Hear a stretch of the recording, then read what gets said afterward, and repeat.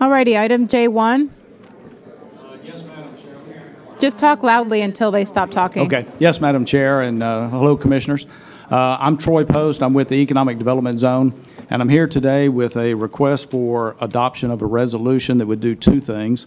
Uh, The first is this would uh, terminate an economic incentive agreement that we have with uh, what we call Project Eagle, and I'll explain that in just a second, and would also uh, ask you to approve the sale of a piece of property in the Spaceport Commerce Park, which is in Titusville, to Project Eagle, uh, per a ground lease that was executed back in 2015. So to go back a few years to 2015, we had a project that was brought to us by the state. We worked with the EDC to create a, uh, an economic development incentive package to attract them. The, the project, which was called uh, Eagle at the time, we later found out was Embraer. They were uh, doing a um, seating manufacturing uh, purchase, a company that existed on the West Coast. They were buying that. Uh, the intent of the company at that time was to look at either expanding in their California location or maybe moving to an adjoining state out west.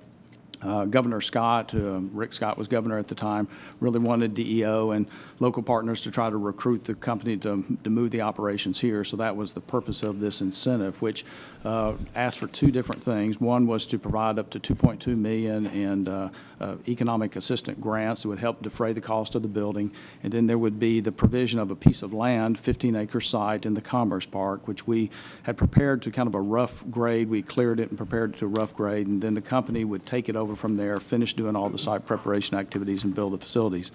Uh, we were able to um, extend the first part of this assistance uh, to the company, which was 1.1 million once they were able to finish their site preparation activities and pour the pad for what we thought originally was going to be one building, it ended up being two buildings on the site. And then the, uh, an additional 550,000 was provided to the company once they finished the building and had it uh, certified according to the building code standards in Titusville. So at this point, we've extended to the company 1.65 million. Uh, they've created about 50 jobs. Uh, But recently, we got uh, word from the company that they wanted to just terminate the agreement, which in talking with the county attorney's office, it was suggested that if we do that, uh, it would be appropriate to have a written agreement uh, that would be executed by the parties, uh, just to protect the county so that there would not be any further claim for the additional monies which could be due to the company if they create jobs. Uh, So we have before you a termination agreement that would also result in the return to the economic development zone of the 1.65 that's been extended at this point. That money came from the uh, tax increment fund that is uh, allocated to the zone to do its economic development plan. That money would come back into that fund and be repurposed according to what the zone board and the county commission wanted to do. The sale of the property, uh, they have a ground lease, of course. They would want to go ahead and exercise the option to purchase the property that's in the ground lease. They can do that at 25000 per acre for that 15-acre lot, so it's $375,000. With that sale, uh, that would go into a separate account that is where we deposit monies from the sale of property in the Commerce Park, which can be used to do improvements in the park. So at this point, I'll stop and see if you have any questions. Move to approve. Second? Motion by Commissioner Lober, second by Commissioner Pritchett. Commissioner Tobia? Thank you, Madam Chair. And I will be voting for this, and I uh, appreciate the fact that this will result in $1.65 million uh, in, in monies being received back. Um, However, I think this shows that companies do not rely on grants to make major business decisions such as where to locate a, fa- uh, a facility or a factory. I believe Brevard is good enough to attract companies like Embraer without the handouts that we, uh, that we provide. Commissioner Pritchett? Before we got Embraer won them, they were going to settle in California or Arizona correctly, and without these incentives, Commissioner Tobia, they, they would have gone there at the time. I am really glad, though, that um, we have put clawbacks in place. So they hit the 50 employee mark, but they weren't hitting the next one. I think they have some interesting things going on. They're, they're still very successful, but I'm thankful that we have these kinds of things in place to where money's returned if, if they don't um, abide by the contract that they agreed to. So um, I, I think this is wonderful. I think it's good government. Any further discussion? All those in favor say aye. Aye. Aye. Opposed? Motion passes unanimously. Thank you. Item J2, Chair, may I make a request here? Commissioner Pritchett? Yeah, I, this could be a a lengthy conversation, so I wanted to request that we table this till August, because at one of the meetings we had before we gave um, Brevard Cultural Alliance, um, we asked them to come back with a proposal, so I think we, this is a little bit premature, so I think we need that to come back, then we can have the big discussion at that time. So I, I, that's what I'm going to move to do today, so I thought that would be the best thing to do before we start taking up a lot of agenda time, because I think that's appropriate. So I would like to make a motion to table. I'll second. Oh, I have a motion in two seconds, so I'm imagining the votes are there. Um, A motion by Commissioner Pritchett, second by Commissioner Lober. C- Commissioner Tobia? Thank you, Madam Chair. Can, can we see what uh, tabling would have to do uh, as far as with uh, the TDC, whether or not that impacts their uh, budget coming up? um, With, with, you know, will they receive any more monies, or how- what, what is the impact, should we table it, I guess? Mr. I was not Kranz? prepared for this. I think Frank told Good afternoon. So this is, uh, the item J2 was the um, 2019-2020 contract with Brevard Cultural Alliance and the Tourist Development Office. Um, It was uh, based on the TDC uh, recommendation, uh, placing 50,000 uh, in the contract to to provide to them. At this point, the, you know, the, our budget has been submitted, but certainly we can make adjustments. Uh, You know, there's still plenty of time for, for budget adjustments for, for the next year, so should be okay. Fol- Follow up, Madam Chair? Sure. Uh, The, the budget that was submitted, uh, that, that had $50,000 as a placeholder in it, is that, is that fair?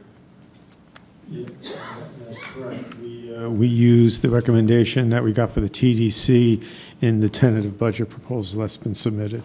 Uh, My concern uh, would be with the lack of a contract, so none of, none of the monies would be expended if we were to table this uh, without a contract, is that, w- without the monies that have already been The- extended the- without a contract? Yeah, that would be for the beginning of the next fiscal year, so if you tabled it, we still have two months to get that contract in place. Okay, thank you for the clarification.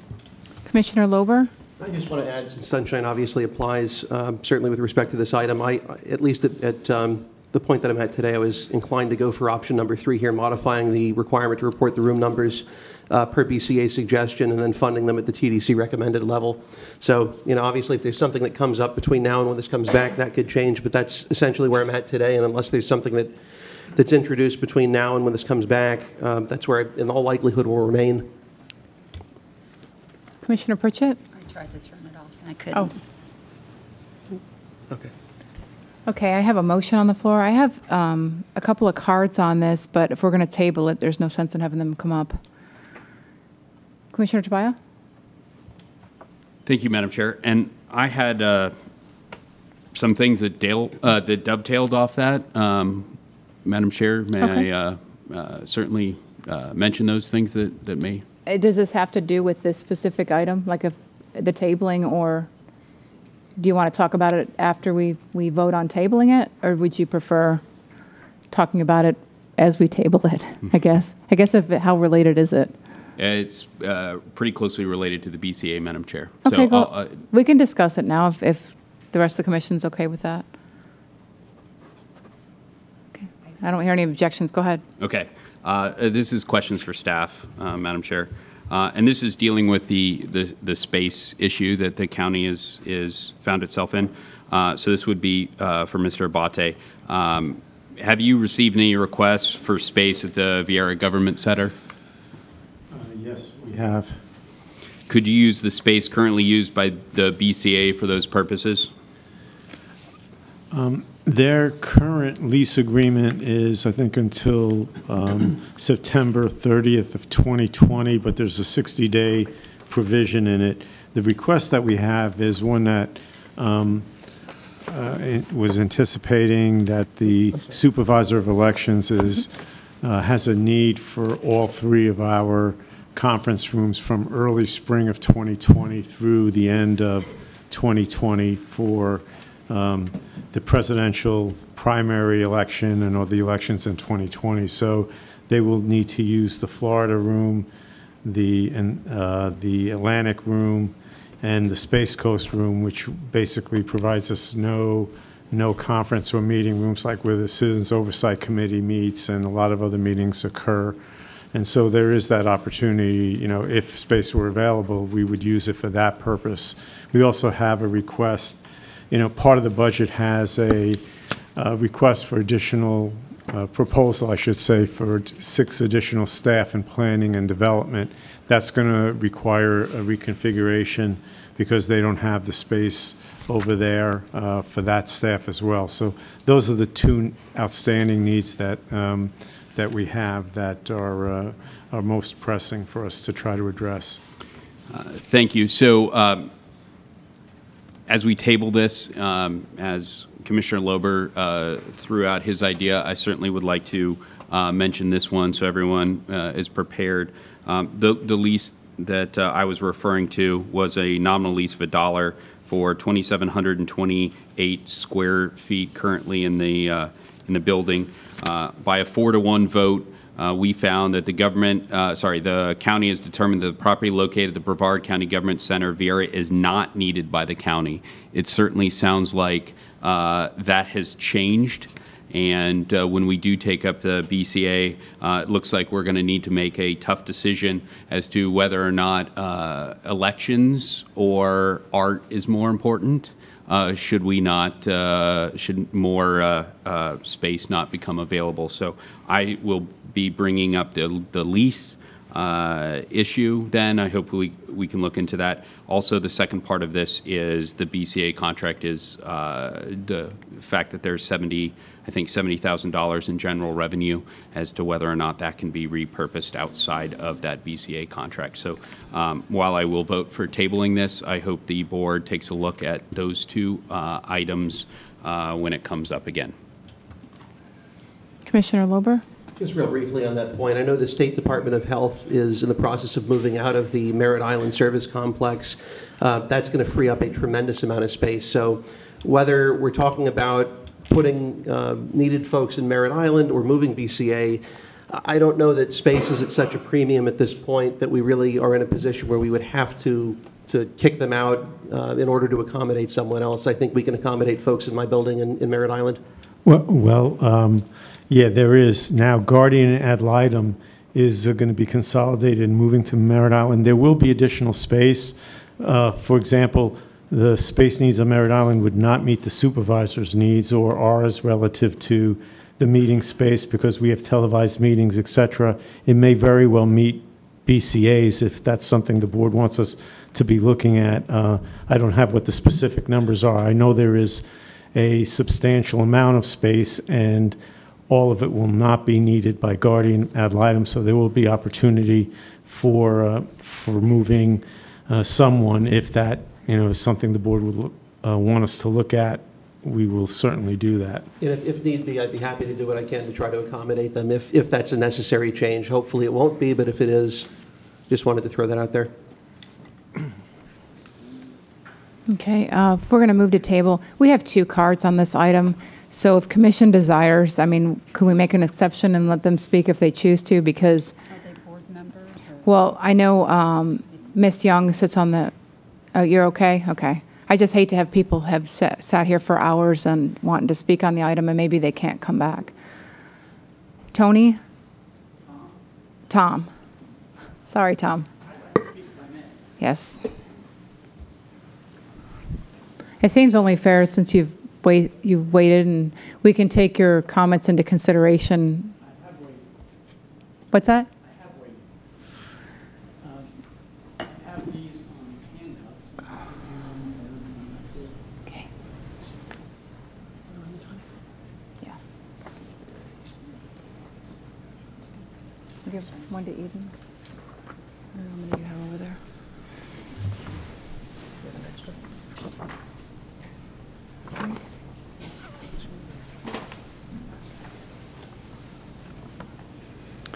Okay, my name's Tom Powers. I live in Indian Harbor Beach.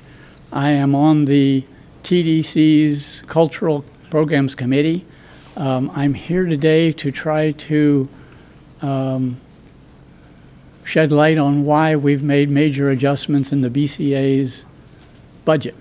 Um, and I start out by, and you have all the sheets, to start out by giving you a a brief summary of what the tourist development tax provides for regarding cultural organizations. And you can see that it says it goes toward. You got to talk in the mic a little bit more, if you don't Okay, I'll mind. Move this over a little bit. I just want it to be able to. Okay, sorry. It goes toward visual arts, performing arts, and then under those two, there are subcategories. And just to keep myself honest, I've provided you a copy of the ordinance with the appropriate paragraph um, highlighted in blue. But more importantly, this first graph shows the amount of money that was available from the tax this past year and shows the budget, how that money was spent. Now, you can see that over half of it went to the Brevard Cultural Alliance. Um, The rest of it went to a, the TDC committee on which I serve, as well as uh, TDC marketing program and the fund guide. That's where, that's where essentially all that money went. Now, if we take the portion that went to the tourist, uh, the BCA, we see that well over 50% of it was spent within the BCA, where the purpose was to go to the arts. Only 33% of it actually went to the arts as grants. Uh, I don't think if you were investing in a not, for- uh, putting money into a nonprofit, that that would be a good program's percentage. The amount of money that went to the committee that I serve on, that eventually went to the arts was 100%. We didn't spend, we didn't have any administrative costs, we didn't have any costs at all, and all that money went to the arts. Now, I think my last sheet here is our proposed budget. You can see we've greatly reduced the amount of money going to the BCA, primarily because we don't think it was efficient in terms of getting the money to the arts. It's been claimed that my committee has been anti-arts. And in fact, if you look at this diagram, you clearly see that our purpose on the new budget is to put more money into the arts rather than less. The, the budget to the arts increases by 100%. And um, I, I, that's my whole purpose here, to justify the fact that we've reduced their budget and the reasoning behind that. And I think, is there any questions? Is it clear? Thank you. Okay, thank you. All right, so I have a motion on the floor in a second. Did anybody else have anything else they wanted to add? Okay, the motion was to table this item. Uh, when are we tabling it? Till the first meeting in August?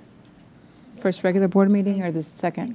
August, when the BCA gets back with a proposal, I think they're going to start, Mr. Rittenhouse sent me a letter, and I think they're going to start reaching out to us with, with their proposal. Did we hear what you're saying? I guess so. Um, uh, Mr. Rittenhouse, you sent a letter to me, and you guys are working on a proposal, so I thought it would be appropriate. They're going to be reaching out to our offices, from what I um, heard, so I, I think we're all going to be getting information, and we'll, we'll know when they're ready, so we can make decisions. I have a film, I'm just pretty anxious to get it done because it's been months and there seems to be an issue with, there's a lot of drama, as you know, with There- the TDC and the BCA and everything. there is a lot. And I so just don't wanna want all the delay data this. in. Yeah, Right, I don't want to so- delay it too long, so, I think they're on it. I th- actually think I have an appointment Monday with, with the board in my office, so I, I think we're going to start getting some information coming in. okay. So, second meeting in August? Second regular board meeting? Will that be enough time? For the second board meeting in August, then? Is that enough time? I don't have the date handy, but, Okay, okay. okay, Yes, so I have a, so your motion stands for that time? Yes, Okay. ma'am. Second stands. Okay, so a motion and a second to um, table this item until the second me- meeting in August. All those in favor say aye. Aye. Any opposed? Motion passes unanimously. All right. Item J3.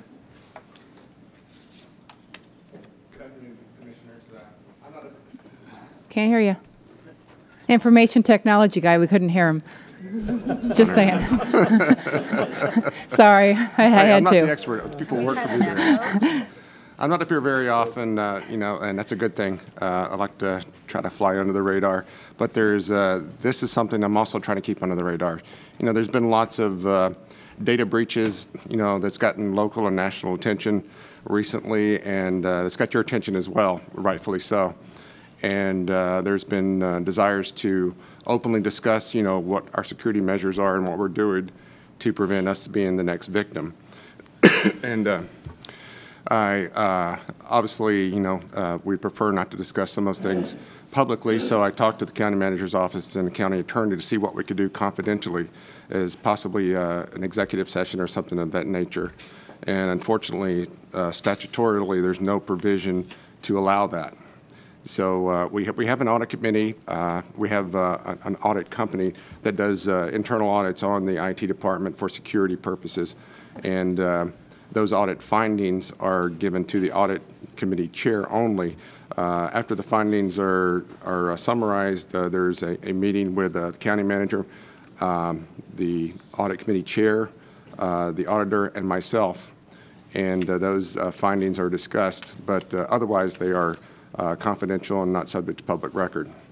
Um, The desire to discuss this among yourselves is a very difficult thing to do. One-on-one, I can discuss anything with you that I want, you know, and also you have uh, uh, county manager as a, as a method to do that as well. But uh, this is a remedy to get around that, so at least one person on the board uh, could have privy to more details about this. And that's really meant if the board wants to appoint someone as the board representative, they could participate in that meeting that occurs between the county manager, the IT director, the internal auditor staff, and the chair of the internal audit committee. That committee and that is provided for statutorily. Commissioner Lober? Just a couple of questions. Um, First, I I just am curious if everyone up here has been briefed on what led to this item being put on there, and a simple yes or no would be? Yes, sir. Okay. All right, and with that said, um, I don't know if you have a preference in terms of who you're inclined to have serve, but, you know, I'm certainly inclined to work with you if no one else wants to do it, or if that's what you want, but That's the board's discretion. I think Mr. Lober just volunteered. fair enough. Yeah, so You make a motion? I'll make a motion. And since I don't know much about computers other than how to turn them off and turn them on, I think he would be a great choice. We'll leave Facebook out of the discussion, how's that? Ooh, ouch. So I have a motion by Commissioner Smith to appoint uh, Commissioner Lober as the liaison with IT. Second. Second by Commissioner Pritchett. All those in favor say aye. Aye. Aye. Any opposed? Motion passes unanimously. Thank you. Item J4. Commissioner Lober? Okay, so this is a, uh, an interesting one. The, the short, I know Mr. Denninghoff is, is well apprised of this, and we've had something of a, um, almost a, a storybook uh, series of back and forths on this particular item. Uh, Sykes Creek Bridge um, is, is still closed. The plans as they currently are involve having a reopening no sooner than spring of 2021. It is objectively hurting the businesses that are out there. Uh, I know we've got at least one individual that's put in a speaker card on this. And essentially, uh, she's gathered, I believe it's over a 1,000 signatures. I don't recall the, over, over 1,500, I stand corrected, signatures, uh, essentially encouraging us to do anything possible to get this thing expedited. Uh, And essentially, what I'll be asking, and I'll, I'll go ahead and make the motion now, um, pending uh, public comment, to authorize me to draft and send one or more letters to the legislative delegation here in Brevard, to FDOT and/or to FEMA, to encourage that the reopening process be expedited to whatever degree is, is possible so that these constituents can get their businesses um, more accessible, essentially accessible to any meaningful degree again. She can certainly speak as to the, um, the specific impact, um, but that's, that's the motion. Okay, I have a motion by Commissioner Lober. Second. Second by Commissioner Smith. All those in favor say, oh, I got a card, I'm so sorry. It's up to you, you don't have to speak. Yeah, You- I'm sorry you waited so long. You probably just wanted to support it. Okay, Yes, ma'am. Go home and have a drink on me. All those in favor say aye. Aye. Any opposed? Motion passes unanimously. Thank you all.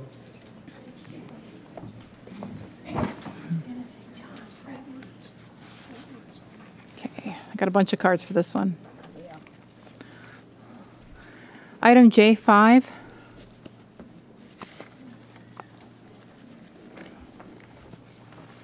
Even your dog got tired and left, right? No, he's still in the back, but he's tired. So. Seems like we've been here for hours. Because we have. So, well, um, Madam Chair, um, Commissioners, uh, thank you for letting me be here this afternoon to talk about our critical needs. Um, I know each of you has the critical needs documents in front of you and has had a chance to look at them, but if you'll permit me, I'd like to uh, go over a couple of them specifically um, in, uh, in our PowerPoint presentation. Madam Chair? Yes. Uh, Point of order. Uh, Resolution 14219, Section 10.1, of, um, which I'm sure the sheriff is well aware of. Presentations are to be limited to no longer than five minutes and must be reviewed by the county production staff and the county manager no less than 24 hours prior to the meeting. My question is to the county manager. Have you reviewed this presentation? uh, Did you review it 24 hours prior according to policy 14219? Uh, No, I did have the opportunity to review it this morning, um, but I did not have an opportunity to review it 24 hours ago. Madam Chair, I would like to make a motion to waive Resolution 14209 for the sheriff, but I'm sure he's well aware. It's I was just- well aware of that, and I was going to ask you if you would make a motion to do Yeah. that, Commissioner Tobia. I'm just going to refrain from commenting. I have a motion by Commissioner Tobia to waive a policy, I guess, that he's never introduced before, but he's sharing just for you, Sheriff. And a second by Commissioner Lober. All those in favor say aye. Aye. Any opposed? I think that's because I told him I loved him earlier when I was up here. So, um, uh, To start out, as everybody knows, I strongly believe that government's first responsibility is to protect its citizens, and then uh, as an elected official, to be a good shepherd of the taxpayers' dollars. So I'd like to go over with you, um, from the initial standpoint, um, our operating costs at the Brevard County Sheriff's Office. And uh, as you can see in a couple um, subsequent graphs, we, uh, we continue to operate as one of the lowest and cost-efficient um, agencies in the, uh, in the Central Florida area. Excuse me. Although um, our sheriff's office calls for service have increased from 411,246 to 476,749 uh, between 2014 and 2018. That's almost a 16% increase. Um, Our crime rate has continued to plummet. Um, Since 2012, our crime rate has dropped 29%. And uh, I can tell you that I just got the latest statistics from our, our analyst team. For the first half of this year, we have seen another 5% reduction in our crime rate. So I think that's a great testament to the partnerships that we have created in the community, as well as to the partnerships we have created with the community, where our citizens are aware of how to, uh, how to prevent crime so that our crime rate continues to go down.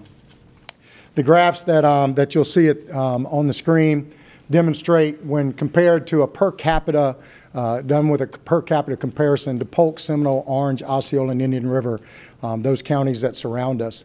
We operate uh, much more efficiently than any of the other agencies uh, when compared uh, per capita. And uh, you can see the numbers there for yourself, but I think they speak very well of our team, the job that they do to make sure they're being as efficient as possible in, um, in not only preparing our budget, but in administering our budget as well. Uh, The last slide uh, showed what we um, do on the operations side. This, uh, this current slide shows how our jail operates. And again, in the same comparisons, uh, you can see that we are significantly less per capita, per cost per taxpayer. We, um, we are significantly less and able to do the job that we're doing, including a 29% uh, reduction in our crime rate with increased calls. As we, as we stand before you today with a list of critical needs, um, I'd like to go over some of those with you and give a little bit of explanation as to why they're so important to our agency and to our continued success in protecting our citizens. Um, the first one is our attrition rate. As you can see on the screen, since January of 2016, 226 sworn positions within the sheriff's office have been vacated. 123, or actually 54% of those, have left due to retirement or to seek employment with other agencies with more competitive salaries. That turnover rate results in an increased cost to our agency, not only from a recruiting perspective, but a training perspective and a continued education perspective of, of the retraining that they're required to do, giving um, uh, an increased investment of $9,642 to each person that we lose. And so when we have to bring somebody else in to, uh, to facilitate the training to replace that person, we're already sitting at that almost $10,000 deficit. Um, To, to a matter of point, the sheriff's office has not requested any increases to overtime funding, yet as a direct re- um, a result of the deficiencies that we have in our, our um, uh, members, we, um, uh, and the number of members that we have in patrol, we have to uh, have increased overtime, which has also been very taxing on our budget and uh, um, making it difficult for us to, um, to, to get the job done. According to the Brevard County Comprehensive Plan, we shall, and I say we shall, um, have, and let me, let me advance that slide, I apologize. According to uh, the comprehensive plan, we shall have two deputies per 1,000 residents. Currently, there is a 60 deputy deficit of compliance within the board's comprehensive plan and design. If you look forward at the projections of 220 um, and the population estimates, that deficit will grow to 80 deputies. The last time that um, anyone stood before you and asked for an increase in deputy funding was in 2004, which was for 32 additional deputies. School safety. Uh, every one of us in the room uh, is certainly aware of what took place just south of us at Parkland, the horrific nature of, of that incident and everything that happened as a result. Um, our legislators went to work and uh, uh, issued mandates for our schools to be the safest schools in the country. The statute mandates um, school security, and uh, our, our partnership with our school board is to make sure that every student, every teacher, every visitor, every faculty member on that campus is safe and protected to the best of our abilities. Um, the, the sheriff's office had 10 school resource deputies prior to the Parkland incident. Today, um, as school year starts, we will have 40 school resource deputies on campus. And I think that is a great testament to our, our team in HR, our team of um, our recruiters that are making sure we're putting the absolute best of the best in our school campuses. I, I will not sit idly by and not let our schools be protected. I, I, I have a, a, commitment to make sure everybody's safe and our children are our most precious of citizens. So um, the school reimbursement fund program funds a portion of the financial impact, uh, 2423000 with an unfunded um, fiscal impact to the sheriff's office of uh, just over 1 million. That's not including the 650,000 in associated equipment and vehicle costs. So as you can see, that in itself has also been very taxing on our agency, but it is paramount that uh, we provide that service to our community. Continuing with our, our needs justification, our fleet. Um, currently, there are 850 vehicles in the sheriff's office fleet, and uh, we currently have a deficit of 280 replacement vehicles due to funding availability. As a direct result, the utilization of high mileage, less reliable vehicles, our agency is experiencing significant cost and increase in maintenance and repairs. An example, just to, to give you one idea, is um, we operate an inmate transportation to and from all three courthouses within Brevard County. Uh, currently, we are doing that with a 1997 Bluebird bus. Pretty sure that um, some people in here may have actually ridden it to school. Um, and uh, it has an excess of 200,000 miles on it. Um, and we're relying on not only getting people to and from their court hearings, but also uh, not wanting to break down out on the side of the road, which puts everybody at risk. So um, we have to do something in, in that arena as well as our overall maintenance arena. Our tasers. Um, as one of our um, intermediate weapons, our deputies, our sworn members carry tasers. And they are a great tool for us that not only protects our deputies, but they also protect our citizens um, in, in their deployment in a lot of uh, different threat matrices that we have. As you look today, um, the Sheriff's Office utilizes less lethal equipment commonly known as tasers, which everybody is aware of. Um, and um, right now, there are currently 586 tasers in operation. 75% of them are nine years of age or older. All of them are out of the five-year warranty and replacement batteries and cartridges have been discontinued. Um, this reoccurring fiscal impact to replace them is $412,544. Uh, again, when we say this is a critical need, it is absolutely a vital need to the safety of our deputies, to the safety of our citizens, that they are out there protecting each and every day. This is a must-have, and we can no longer rely for them to work with the antiquated um, system that they have. AEDs. Everyone is familiar with the benefits of AEDs. We've seen all too often where um, they are utilized to save someone's life. Just recently, um, athlete uh, was saved with uh, the AEDs. Our deputies um, carry them, and uh, there are currently 588 AEDs in operation. 90% of them are six years of age or older. All of them are out of the five-year warranty and the annual recurring physical impact to upgrade operate is $32,000. And when I say something's out of warranty, it also um, lends to that they are out of ability for the organization or the company to repair them, to find parts for them. So again, this is another vital piece of tool that we must have in our job to protect our citizens. Narcan, as everyone has uh, uh, probably watched, on May 1st, we uh, took off one of the biggest opioid organizations this county has ever seen. Over 100 people were arrested for distribution of, of opioids. In that one case alone, we took off enough fentanyl off the street that if it was put into a single dose form, it would have been enough to kill everyone in Brevard County. That's what our team is facing out there each and every day. Also, in addition to that, we have to look at how can we help those that are addicted to this substance. Um, when we consider how many times we deploy Narcan, uh, it is an absolute tool to have on our belt. It also goes into the fact that um, the total reoccurring financial impact for us with our Narcan is $42,000. But when you look, um, there's 3,737 Brevard County jail inmates who during 2018 required medical treatment for opioid addiction and the investigative costs relating to overdose deaths. In the last 24 months, we've had 172 overdose deaths in Brevard County. Narcan is another vital tool for our team to carry on their belt, and unfortunately, there is an associated cost with it, but I don't think you can put any type of price tag on saving a human's life. Our partnership accomplishments. Um, as true fiscal partners with our board, and I want to take a minute and commend our county manager and Jill for their work on, on our, their budget and putting, um, uh, working with us to make this happen. They have been great partners, but we try and be great partners as well. Um, the Sheriff's Office is providing solutions and funding for critical operational capabilities, adequate space needs, infrastructure upgrades, and repair needs to, in the form of 542,000 to almost 737,000 annually since fiscal year 2007. That, that is for debt payments on the acquisition and construction of the North Precinct, our aviation hangar at the Merritt Island Airport, the purchase of the Criminal Investigations Building on Gus Hipp, and uh, most recently our CAD RMS JMS system. Uh, that our system we had prior to that was 25 years old, was built in-house. It was antiquated, and they say that everything has a shelf life. Its shelf life had long since expired. So we were um, innovative in working. Our, our uh, then CFO, Greg Pelham, and our chief deputy worked out a mechanism where we could, um, uh, we could get the new system, be able to work to support our citizens, um, and we've provided $7.7 million in debt payments to the board. Um, we also, again, trying to be good partners.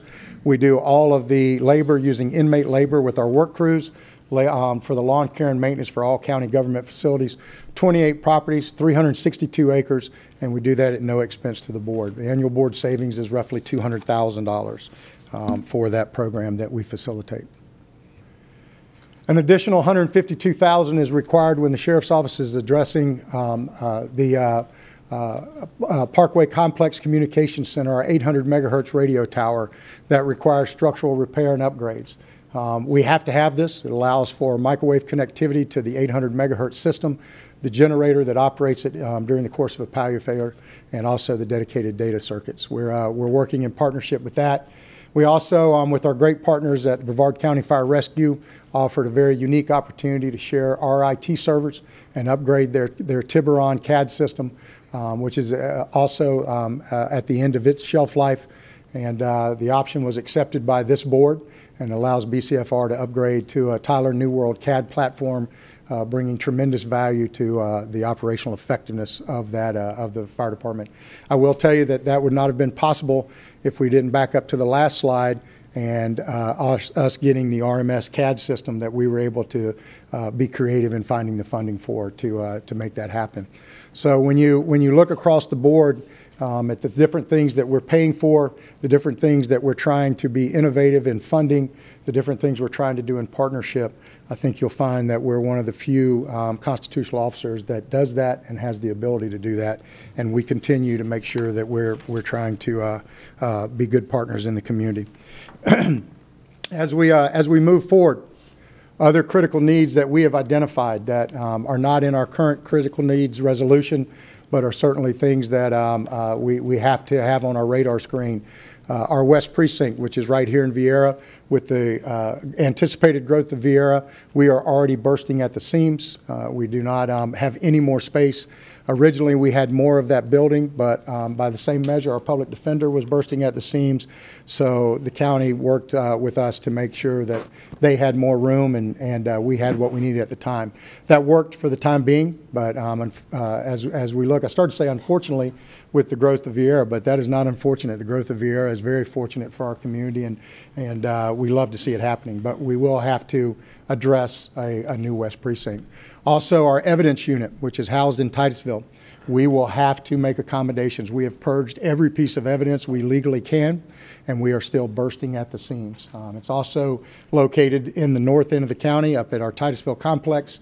So someone traveling, some, one of our deputies in the Palm Bay area has to, um, if they're going to court, drive to Titusville, check out their evidence, drive back to Melbourne for court, if that's where they're going, or to Viera, and then turn around and drive back to the complex in Titusville to resubmit the evidence after, after um, they have used it.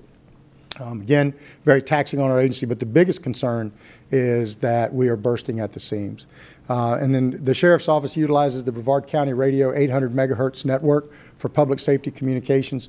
Currently, our agency operates 1,645 mo- mobile, portable, and base stations radios on the network. This network has been going through its own struggles, um, and uh, I can tell you that the major upgrades uh, that will be taking place, and then we'll be migrating to a statewide mandatory radio um, standard in 2023. That migration alone, um, with the current radio inventory, we will need to be replaced, and uh, over the next four budget cycles, a total fiscal impact of 6 million plus dollars in radio replacement equipment will be realized.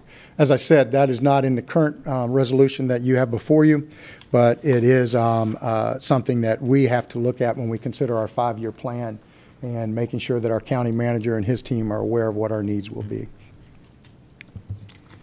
That, um, those are the, the primary things that I wanted to point out. Certainly, I'll um, answer any questions you guys might have, but um, uh, Commissioner Lober? Some questions for Frank and for Jill, if that's all right, may I? Uh, Does anybody have any questions for the sheriff right now? Can, I'll I'll pass to Commissioner Pritchett for the meanwhile. okay, Commissioner Pritchett? Yes, ma'am. Sheriff, I was listening to you go through your um, agenda items, and you're down 280 vehicles. How many deputies do you have vacancies for right now? Um, Right now, today, um, I believe 36, and uh, Chief, am am I accurate in that? 36 unless somebody has uh, left since we left the office this morning. So you need 36 more deputies? Well, um, that, that's just the positions we're short. We also have our school resource positions that Oh, we yeah. we have filled, and we're, we we are looking to um, put those positions back into the road patrol. Um, When we took, when we, we take and we put somebody into a school, we still have to backfill that position on the road so that we can respond to calls and, and uh, other, other significant things happening. Okay, you mentioned the growth in Viera, but has the space growth impacted your deputy situation any? I'm sorry, ma'am? Has, I need to get this closer. Has the space growth affected your deputy situation? Oh, you know, um, uh, it actually has, um, and uh, it's uh, it's impacted us in a way that I don't think any of us kind of imagined because um, we're we're losing personnel um, uh, to their security teams out there. We're losing personnel to IT um, uh, type uh, positions. And uh, you know, it's it's great to see the Space Center as it's as it's growing and, and revitalizing, uh, but it is taking its impact on us. We're losing people because they pay significantly more for them to to work those positions. Okay, and has there been a, an increase in service needs over the last period of time? And if so, how do you, how do you measure this? Um, Well, uh, in the very first slide, we, we talked about that there's, there's been a almost 16% increase uh, in service. And, uh, you know, we're looking at an increase in calls, and those calls, um, I, I think, are, are actually taking place for a number of reasons. One, our population continues to fortunately increase. And then two, um, you're looking at cell phones have added to the number of calls that we take because people are right on scene. They're able to make those calls um, immediately and quickly. And so all of those things have kind of come together. But, you know, what, what we do is we try and um, maintain our partnerships. We've put huge emphasis on uh, lowering our crime rate through making sure our citizens know what, um, what crime trends are happening so that they can be the first line of defense for them, their families, their home, all of those, those things. So we put a lot of emphasis on fighting um, crime through partnership and then uh, working with our, our other partners throughout the, uh, the country, our local, state, and federal partners. You know, we just took off an individual um, uh, in June who was just indicted uh, this past week. Uh, this individual was was on actively seeking online to uh, to abuse a child, and one of our undercover agents uh, that's assigned to the the ta- task force was able to communicate with that person. That person actually facilitated it and came here to Brevard County with the hopes of abusing a child. So, um, you know, if not for our partnerships with our federal partners, uh, we we would not be able to do the things we do. Okay, and then one other question. Um, since I've been on here, would, we're get, working on the budget, everybody's like, oh, but the sheriff's going to turn his in, and it's always been fine.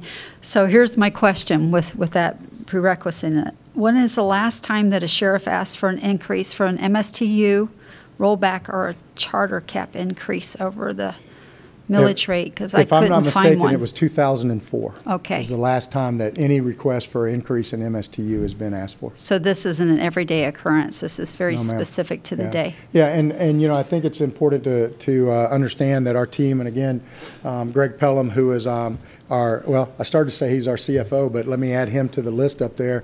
Um, He left to go to the property appraiser um, as their chief financial officer, and I, I- I'll stand before you and say that Greg has done an amazing job for me. I hate to lose him, but um, uh, he has done a great job at, at uh, managing our, our budget along with our chief. And so we've, we've kicked the can as far down the road as we can. We continue to kick it down the road on some other of the bigger items that we talked about. But some of these are staring us right in the face, and, and if we don't take action now, we're going to be in a bad way. Thank you, ma'am. That's all I had for the sheriff. Commissioner Smith, were your questions for the sheriff? Thank you, Madam Chair. Well, I don't, well, I guess I do have a question. I just, you know, I have to be honest with you. I've had people on the street and some people come to my office and vote no. Sheriff's always looking for more money. So, you know, I thought, well, let me see if he has. So I did some digging, and I think most people know we're the ninth largest county in the third largest state. And um, then I thought about, well, not only the population, but you're dealing with, as a, as a safety officer, our deputies, we're dealing with hundreds of thousands of tourists that come here. So we have a lot of people that you guys are charged with keeping safe. And of course, you know, the fact that we have that, that huge swell in population is due to great things like our zoo, I mentioned earlier. USSSA is bringing a lot of people in. The spaceport attracts an awful lot of people. So we've got all these people, and yet we depend on you to keep all of us safe. Um, So with your leadership, I, I did some more digging, and I discovered that we're ranked in the bottom tenth of counties in per capita spending, which kind of blew me away, because you had told me before that you haven't come here since 2000, or 2004 was the last time the sheriff um, had actually asked for an increase. And so then I found out that we're the 61st out of 66 counties. Dade County isn't included because they don't have that much in the way of uh, county uh, operations. But 61st, so that means 60 other counties in this state, including a lot of little teeny tiny counties, have higher uh, spending per capita than we do. That's correct. Yes, So I guess my question to you, I do have a question. So how do you accomplish all this while keeping a lid on spending? Um, You know, uh, we identify our wants and our needs. And uh, I think uh, the best way I can give an example of that is um, we all have wants and needs in our lives. And I always use the analogy that um, I want a Rolex, but I need a watch. And so our team does a great job at um, uh, evaluating how we're spending our money. Um, uh, we understand that while our first job is to protect our citizens, we also have a responsibility to protect our taxpayers. And so we, uh, we try and create partnerships. Um, I think one of the most significant things that we've done that has helped lower our crime rate is creating a partnership with our citizens. Um, our, our citizens are, are the ones that are preventing the crimes, you know, and that's how you truly lower your, your crime rate is, is by preventing the crime. Certainly, our team can investigate it and make the arrest, but that's still a number in the box that goes toward our crime rate. So through, through uh, our partnerships, through being innovative in our, are ways to, to finance and pay for things such as the CAD system and everything else. Um, I think those are the things that speak most favorably to our team. And, and I, I say it a lot, and I'll say it right now. Um, uh, when you ask that question, how do we do that? The answer is I'm surrounded by an amazing team, and I'm smart enough to stay out of their way. They do great stuff. Commissioner Tobia, were your questions for the sheriff? I mean, we can have him come back up later, because I'm sure you No, my, might. my questions were for staff, Madam Chair. Okay, because I have Commissioner Lober first. All right, we might call you back up, so Yes, don't go too far. Thank you, Madam Chair. So, yes. Go ahead. Frank, during the April 9th commission meeting, you were authorized, and I quote, "to prepare in your tentative budget for fiscal year 1920 multiple options for ad valorem tax rates, including an option that may exceed, that may exceed the aggregate rolled back rate in order to provide funding for critical needs identified by the sheriff while maintaining existing service levels elsewhere, as well as an option that may reduce service levels in the aggregate rolled back rate while still maintaining the most urgent critical needs identified by the sheriff." Is it accurate to say that the aggregate is the total of all individual pieces or portions that make up the tax assessed by the county, including departments and MSTUs? Um, For example, Public Works, Law Enforcement, Mosquito Control? Yes, that aggregate is uh, made up of the 20 operating uh, tax districts, uh, the general revenue, road and bridge MSTUs, law enforcement, fire control, mosquito control, parks and rec, and the library districts. Thank you. Now, now that we understand what aggregate means, what does it mean when we're talking about the aggregate rollback rate? That's a statutorily provided for calculation. Um, It's uh, regulated by uh, Florida Truth and Millage, and essentially, uh, the rollback rate is the tax rate that would generate the same amount of uh, property tax revenues as approved in the prior year, but you have to take out considerations for new construction, as well as uh, uh, prior year TIF payments for areas that are within the dedicate, those dedicated uh, increment areas. So Frank, does the option that the board's being presented with right now today exceed the aggregate rollback rate? No, it is uh, equal to the rollback rate. I, I want to talk real briefly about what that means. Does the proposed 1920 budget require the advertisement of a proposed tax increase? No, it will require a uh, notice of a budget hearing, but not of a proposed tax increase. Why specifically doesn't the proposed 1920 budget require the advertisement of a proposed tax increase? Uh, Because we are, we are not above the aggregate rate, and that's what would trigger um, a proposed tax increase under Florida statute. Perfect. A few questions for Jill, if I may. Sure. So I I think you addressed one of them that I was going to ask. But Jill, does the aggregate that we've already established as not being uh, exceeded from the- the prior year rollback, does that include the law enforcement MSTU? Uh, yes, it does. The percent change from the aggregate during the 1819 is actually a negative 7.62%, is that right? Uh, yes, that's correct. So it would be fair, or at least far more accurate, to say that taxes are going down by 7.62% were this to be approved, than that they're being increased by any amount. Is that fair? Um, So the tax rates for all of the operating taxing districts, with the exception of the law enforcement MSTU, are being reduced. So the, the aggregate, as we already established, is not going up. I, you know, I appreciate this. It- A year ago, I said that I was going to prioritize public safety infrastructure in the lagoon as my, my top priorities. And I, I think today, I'm, I'm hoping that the county commission will take another step to do just that. Thankfully, without raising taxes, this is something that absolutely is critical. We can't have a, a bus with 200,000 miles being the only one that they have in their fleet. Uh, We need to have officers that are, are uh, recruited, trained, and equipped to do the job that we're asking them to do. And I, I think, given that it's been many, many years, since 2004, I believe was the year uh, mentioned, since we've had this the last time, I don't think there's any way in good conscience that, that I can fail to support something like this. So just as I would support any sort of a change along these lines for the firefighters and the EMTs, I have to extend that, that same um, stance because this is all public safety and, you know, law enforcement certainly is a, a very critical function that is one of the very few core functions of government. So I'm going to be supporting this today. Commissioner Tobia? Thank you, Madam Chair. And uh, these questions are are for Jill, and I, th- I think they come off some of the points that uh, the sheriff made. He, he mentioned that M- MSTU had not increased.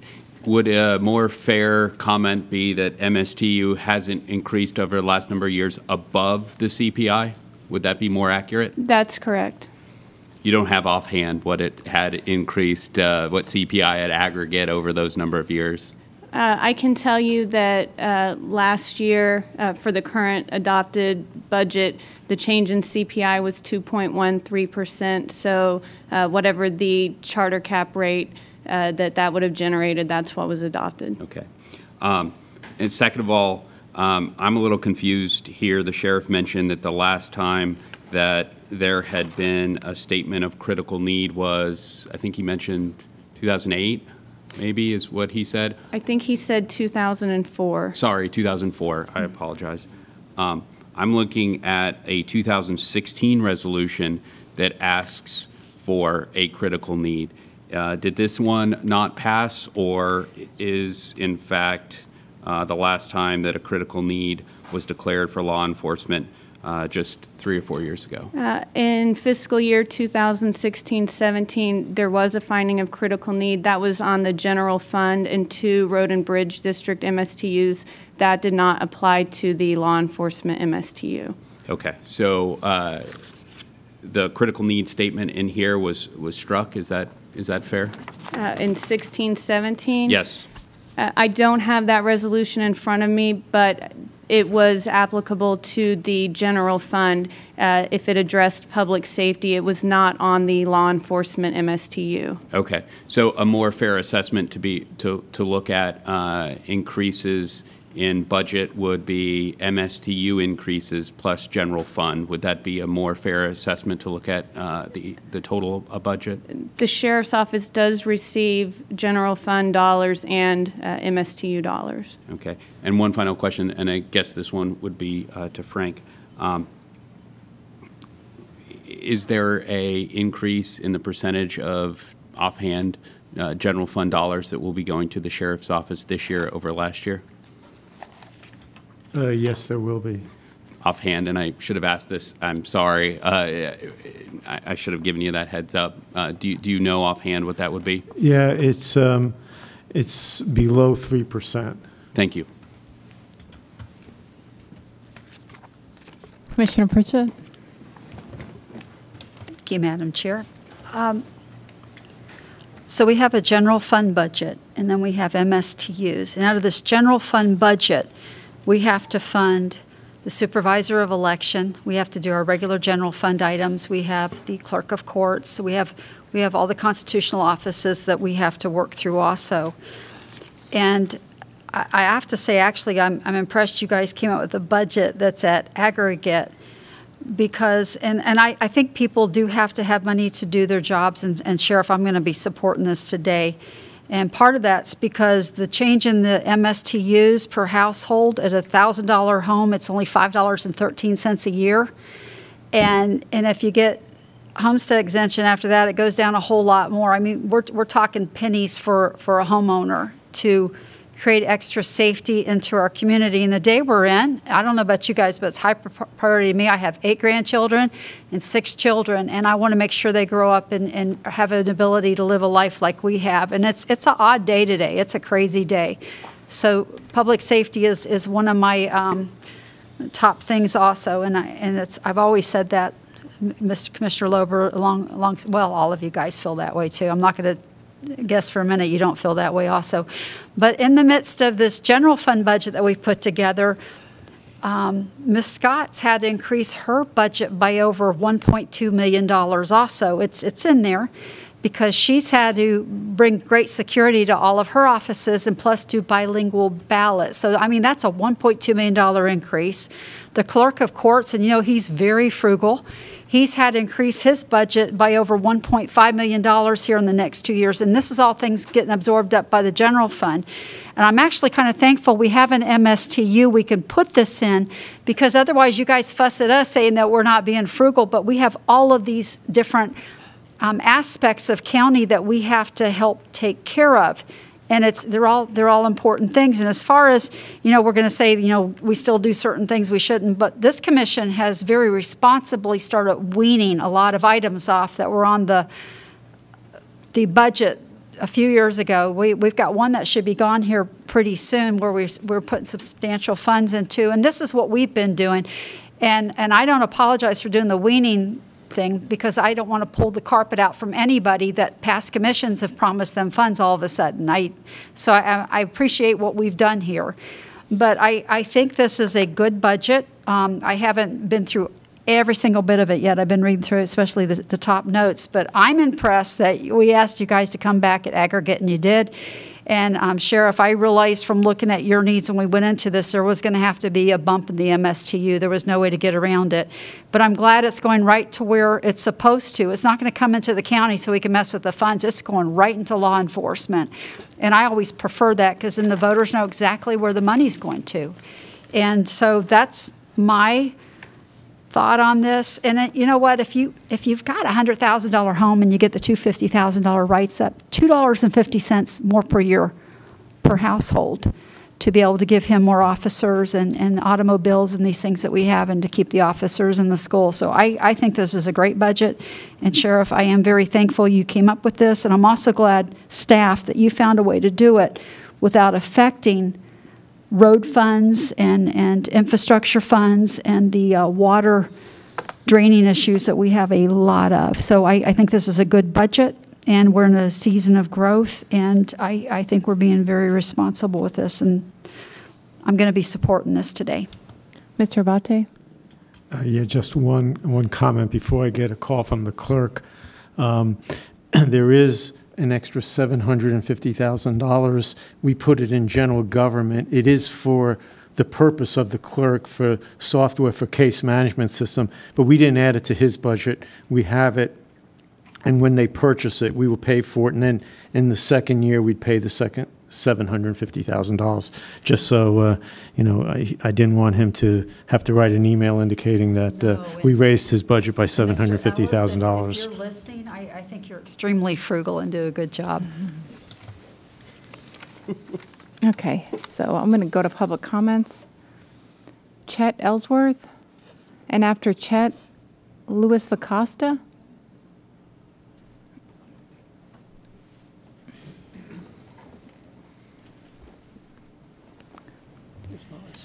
Uh, Chet Ellsworth, 989 North Highway A1A, number 2, Indialantic, Florida.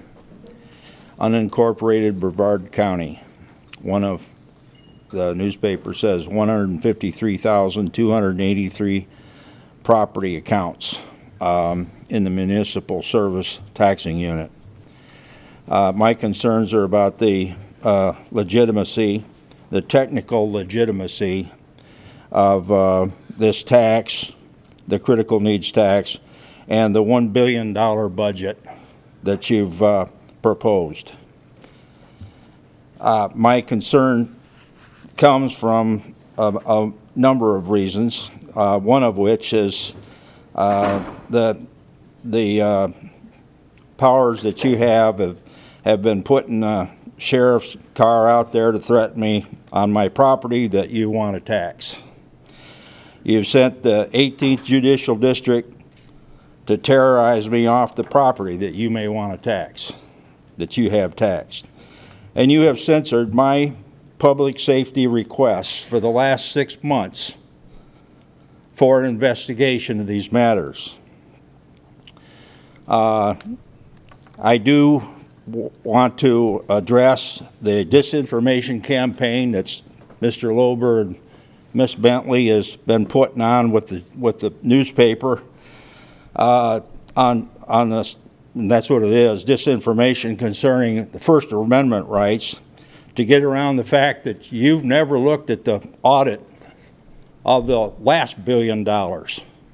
On it, it states that you have no control, no internal controls. You're, you're out of control.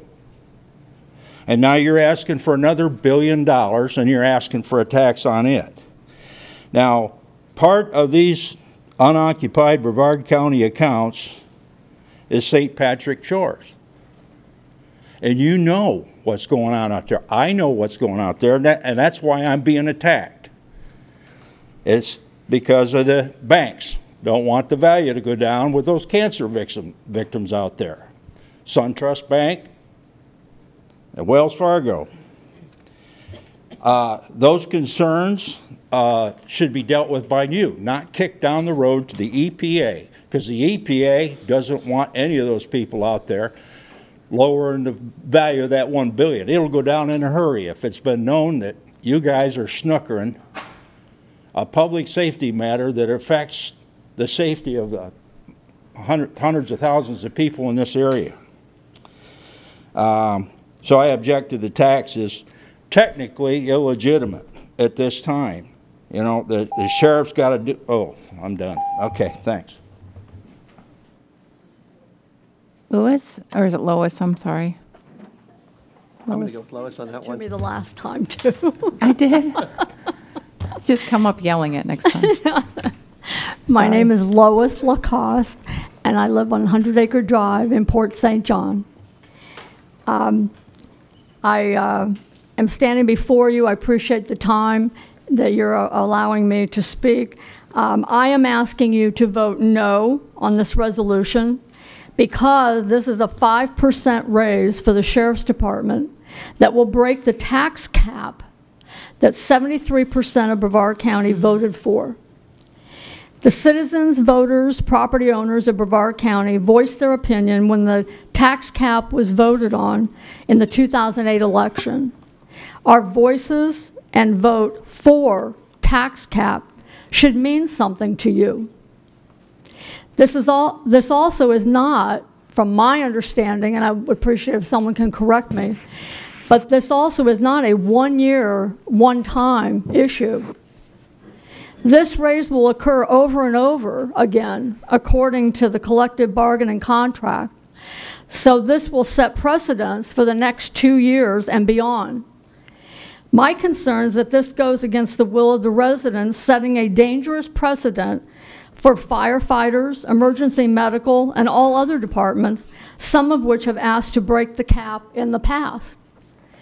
The Brevard County Sheriff Department does an excellent job protecting all of Brevard County. But the answer to the request for additional funds is always the property owners that are hit with increased property taxes to fund the request for additional funds, which is especially hard and unfair to all retired homeowners living on a fixed income. I greatly admire, greatly respect, and greatly appreciate Sheriff Wayne Ivey and all his men and women of our Brevard County Sheriff Department. However, I do not support breaking the tax cap to honor their request. Therefore, I respectfully ask you to vote no on this resolution. Do not raise my property taxes above the legal cap. Thank you. Thank you. Diana Shom- Schomer, Schomer, and then Barbara Green, Gorin, Barbara Gorin. Miss writing. How do you read that? Uh, Hi, my name is Diana Schomer, and I live on Merritt Island.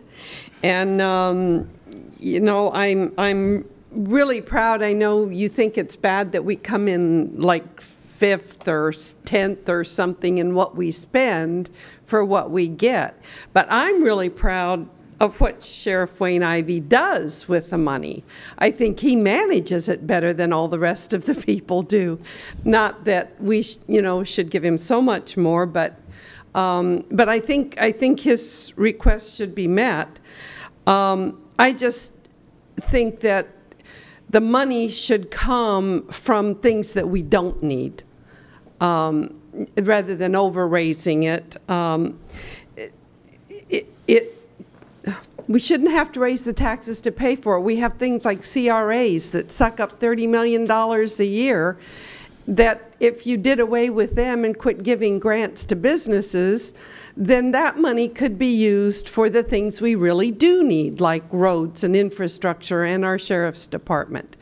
Um, there are places like that that we have funds that we don't we don't need to be meddling in. I mean, we don't I don't think we need to be giving businesses grants.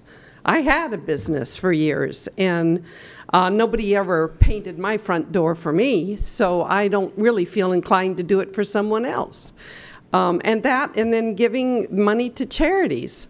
I don't think that's the business of government. I think the first business of government is do with our money what we need to have done, and the um, extras like that, well, if you have a surplus, fine. But if you don't, you have to take care of the real needs first. And anyway, thank you for your time, and Thank I'm you. sure you'll do the right thing. Barbara? Did she? Thank you. Mary Jane Nail?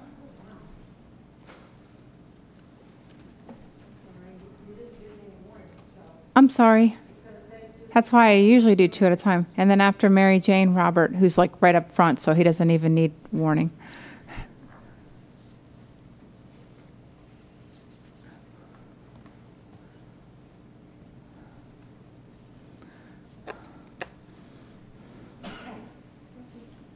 Sorry, Mary, That's okay, thank you. Thank you for your patience. please. Back again. You know I love Name? Sheriff. I'm sorry. Name and Oh, I'm sorry. Now, I always forget that part. That's And I was an elected official. You'd think I would do better. Um, Mary Jane Nail, Cocoa Beach, Florida. Thank you. I love Sheriff Ivey. Doesn't he look great? He's on the keto diet. I, I, I spoke to him. I said, Hey, why is it you're looking so good? He says, I'm losing weight. I've lost over 50 pounds. That's great because I want him to be healthy, wealthy, and wise. Um, he's doing a great job. He and I love a lot of things together. We love animals. We love the First Amendment. We love the Second Amendment. I thought we loved low to no taxes, but I'm starting to wonder. Um, so I highly respect him. You know, he plays a great game of basketball too, if y'all didn't know about that. And I want to recommend that he get stem cells instead of knee replacement. Just a little suggestion. Um, you know, here's the situation. Uh, let's pretend that this purse here is my family budget, okay? Okay, there's only a limited amount of money in this budget, and right now there's just my husband and myself. So I want a walk in tub. So I go to my husband and I say, hey, you know, I need a walk in tub. And he says, that's great. Let's take a look at the budget and let's just see where we can cut in order to get you that walk in tub. Have y'all ever thought of that novel idea? I want to recommend that you do that, that you think of where you can cut. Now, if you can't think of any ideas, I've got some ideas for you.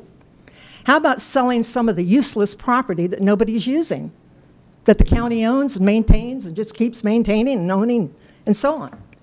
You could do that. And there's probably a lot of other areas.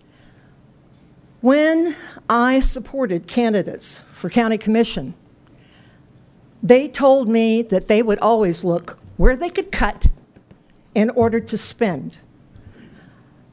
So I haven't heard any of this in your dialogue, none of it. Where, where, where are you going to cut? And when are you going to cut? And you know what? I want the cuts before you spend because I don't really trust that you'll do that.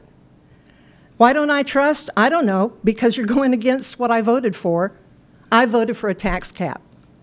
And I think 73% of the population at that time voted for it. John Jr. Kennedy said, when asked if he became a, ran for president and became president, what's the first thing that you would do?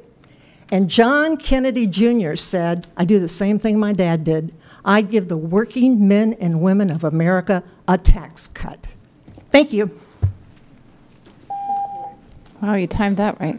That's pretty good. Okay, after Robert is Cheryl Lankis. Robert Burns, uh, Viera, Florida. And I was uh, going to say most of what she just said. Um, uh, my concern is I, I support law enforcement fully. Most of my neighbors are law enforcement. My immediate neighbors are law enforcement. There's probably about 15 sheriff deputies that live in my subdivision. Um, but I also support fiscal responsibility. And what I don't see in this proposal is two things. I don't see cuts, and I don't see a revenue statement of where these funds would actually be going. I see the request for needs, but or what is outlined as critical needs, but my question is, what is a critical need? I think that may be something that is subjective. In my household, like Sheriff Ivey mentioned, we have wants and needs. Needs, in my opinion, are things that are required. If it's not a requirement, then it's, then it's a want. Um, so if it's not required, it couldn't be a need, let alone a critical need. But if we do have critical needs in my house, the first thing we have to do is get rid of things that we don't need uh, in order to be able to pay for those critical needs in order to support paying for them.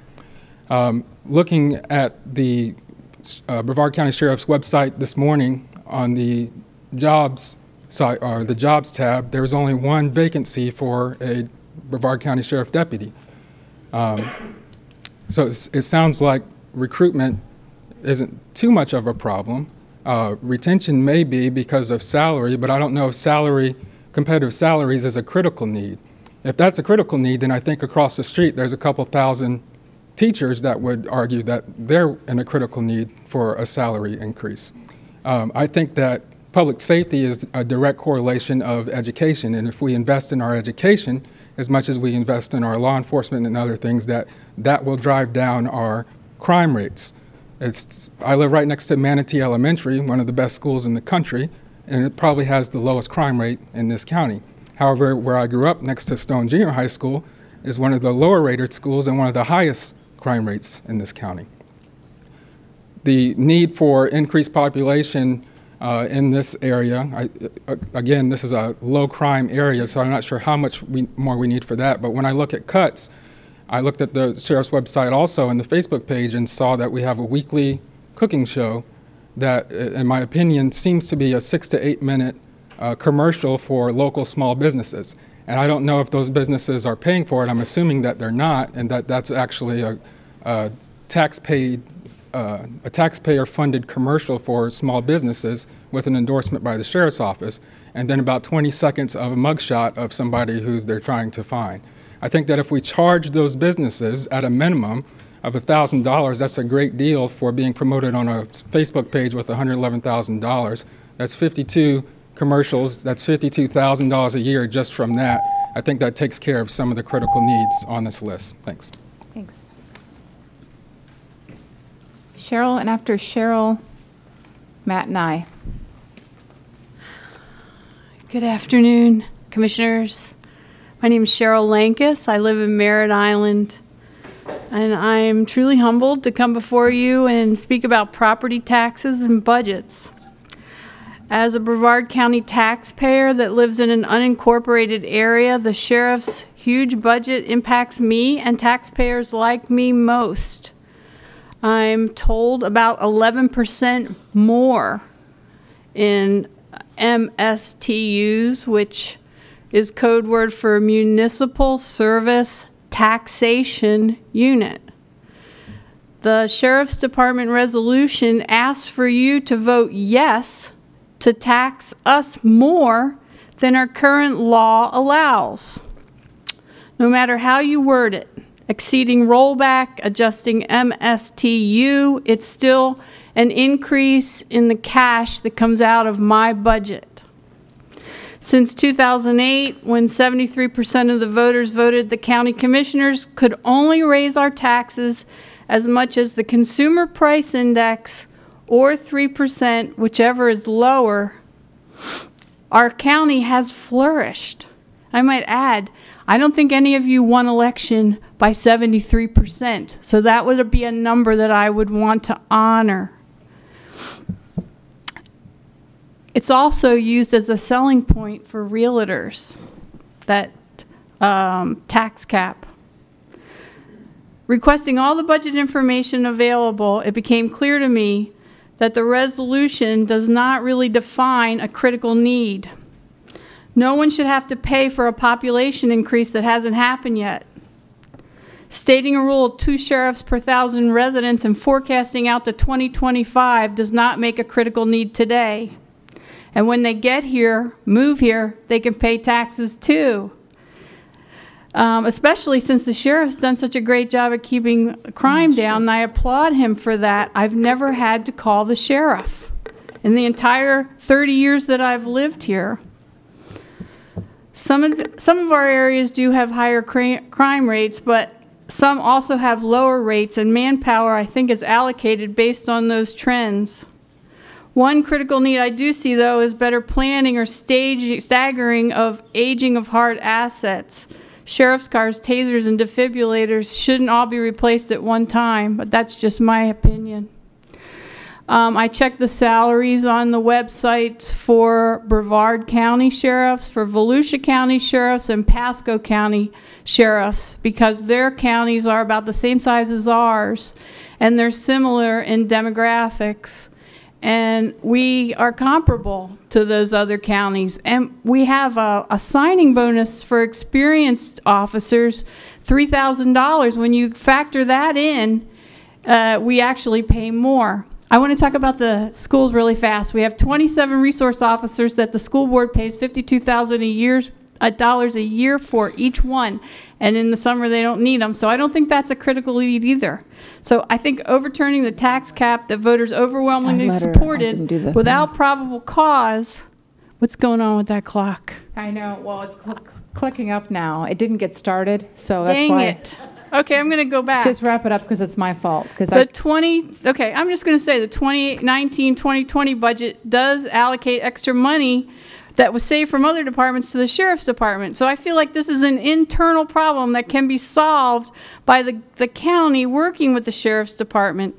And I would say overturning a tax cap that was overwhelmingly supported without probable cause did not, does not really serve the public. Okay, You're Cheryl. overruling the public. I think you've probably got your three minutes. you. Thank you. Thank you. Sorry for messing up the clock. It's like, I don't know, I feel like a DJ up here sometimes with all the equipment we have, and it's all new, so. Okay, after Matt Nye, we have Bob White. Okay, so hello again, Matt Nye from Suntree. Uh, earlier, I picked on a few of the commissioners, and I guess now I'm going to pick on the sheriff. Uh, I'm here to speak in opposition uh, to the critical needs request and breaking the millage cap.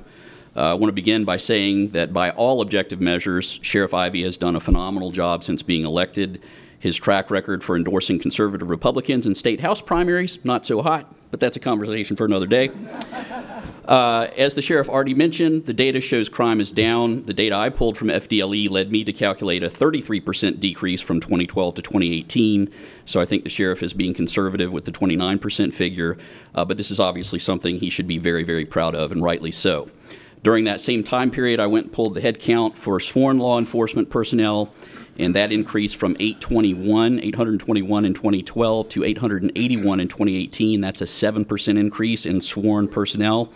The headcount for civilian personnel, however, which I assume are administrative support type positions, increased from 366 in 2012 to 480 in 2018. That's a 26% increase, or more than three and a half times the rate of increase in sworn personnel. So I obviously admit I am not an expert in law enforcement. Uh, but it would seem if you are on a, you have a fixed amount of funding and sworn law enforcement officers are the priority, you would slow the growth of the admin side to ensure that you have the funding you need for the sworn personnel. What I find most interesting about this whole conversation, though, is that according to the Florida Today story I just read, we're being at, you're being asked to break the charter millage cap uh, approved by 73% of voters back in 2008 because of what looked like about a roughly million dollar variance here. Like we're, we're it, it's a fraction of the 136 million dollar budget. I came up with 0.7 percent based on the numbers that I saw uh, in the Florida Today. So Sheriff Ivey has blazed new trails by leveraging TV and social media with his Cooking Up Justice and Wheel of Fugitive shows. Uh, so I'm hoping he can apply some create some of this creativity to his budget and get it to a place where he's not asking you to defy the will of the voters. In summary, I find it hard to believe that someone as talented, competent, and handsome as Sheriff Ivey can't find a way to cut less than a million dollars from the budget to avoid declaring a critical need. I know there are also questions about what the new baseline will be next year if this critical needs request is approved. Knowing the clerk as I do, I am fairly confident he will challenge the Scott Knox opinion stating this critical needs millage will be the new baseline, uh, and he'll do that in court. This means the taxpayers will be footing the bill for that legis- uh, litigation. Uh, I implore you to ask the sheriff to rework his budget or for you to cut in other areas. Uh, even without the critical needs assessment, the sheriff will get the largest budget ever proposed by uh, that office. And for the record, the only time I've ever, since we were talking about civility er earlier, the only time I've ever felt intimidated by the sheriff is when I was caught between him and the uh, dessert buffet at a political dinner. So, thank you. Yikes. Might want to have somebody walk you out. Wow. Bob White, Suntree, Florida. And uh, I'd just like to say that um, the whole Cooking Up Justice show thing, Wayne, um, you know, I saw you on one of those episodes. You had on this big white uh, chef's thing and a big white chef's hat. And I was reminded of the movie Moby Dick, but that's a whole nother, it's a whole nother story. Wow. Um, Civility, Mr. White. civility, sorry, I, I apologize. I apologize. By whose gauge? Uh, no, in, in all seriousness, on behalf of the Republican Liberty Caucus, I would just like to say that we absolutely highly value and have nothing but the utmost respect for all of the men and women that serve with the Brevard County Sheriff's Office. They do an outstanding job, they risk their lives on our behalf. And we absolutely appreciate them for what they do. And our Sheriff Wayne Ivey has been a highly effective and passionate advocate on their behalf and on behalf of his uh, on behalf of his department, as well he should be. Uh, he does a terrific job for us, as do all of his personnel. However, I am up here to speak against the resolution for a finding of critical needs, and it's not that I dispute any of the needs that he has put forward, or it's not that I'm trying to suggest that they're not legitimate. I'm not saying that at all. Um, so what I'm saying is, is that I agree 100% with the premise that public safety is the number one priority of this board and of our county government. And right behind that comes infrastructure, no question about it. You get beyond public safety and infrastructure, and priorities decline. The value, the, the relative value to the community from the other departments that are out there that are being funded by county government, that value declines pretty rapidly in, in some cases. So I think it's incumbent upon you as county commissioners to find ways to fund those public safety needs, those legitimate needs that you identify, working in conjunction with the sheriff, by reducing the amount of money that you spend in other less valuable areas. In fact, we all know for a fact that you are funding some things that could not legitimately be described as an essential government function.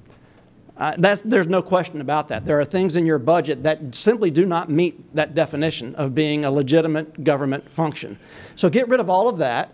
Uh, apply your, your, uh, you know, your critical scalpel to some of those other less valuable areas that are within the budget and come up with what you need to fund those needs. And maybe, maybe some of these needs, as critical as they are, could be, in fact, acquired over a two or a three or an even longer period of time to get to where you ultimately need to be. So please don't do anything that would bust that cap that was voted on by 73% of the people. Uh, don't ignore the will of the people in that fashion when there are other opportunities that you have to meet the needs that are legitimate. Thank you very much. Thank you.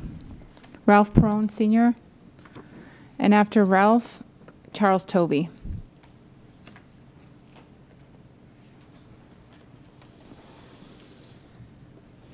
Well, Commissioners, I'm, I'm not nearly as good a speaker as some of the people that have been up here already, but. Who are you? Ralph Perone Sr. I'm a local businessman. I live at 2398 Newfound Harbor Drive, Merritt Island.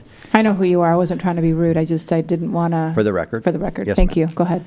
And uh, my businesses are in Rockledge, Cocoa, Merritt Island, and we've now expanded into Cape Canaveral. Um, I'm here to speak as a citizen of Brevard County. Um, I paying approximately right now about $220,000 a year in property taxes. So this would affect me, uh, I would suspect, quite a bit. But I am here 150% to support Sheriff Ivey's request.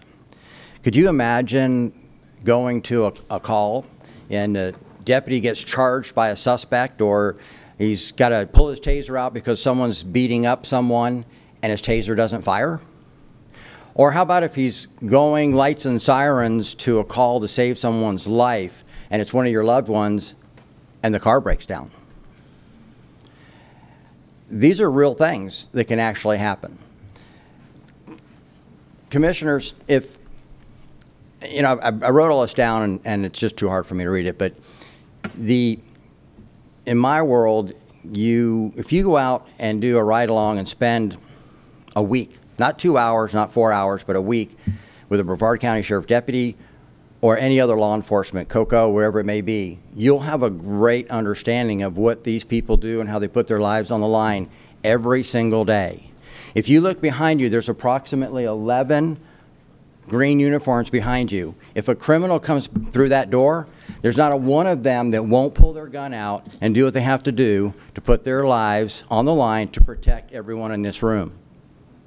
I'm sorry, but if I have to pay a little bit more in taxes, it's not that important to me for my family, my kids, my grandkids, and our life and safety, and as well as in our school system, having the, the school resource officers there.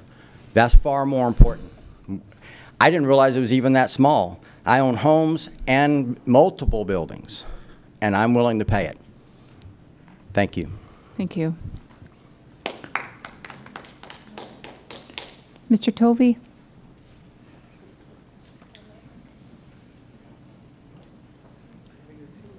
Thank you. Charles Tovey, 2555 Roberts Road.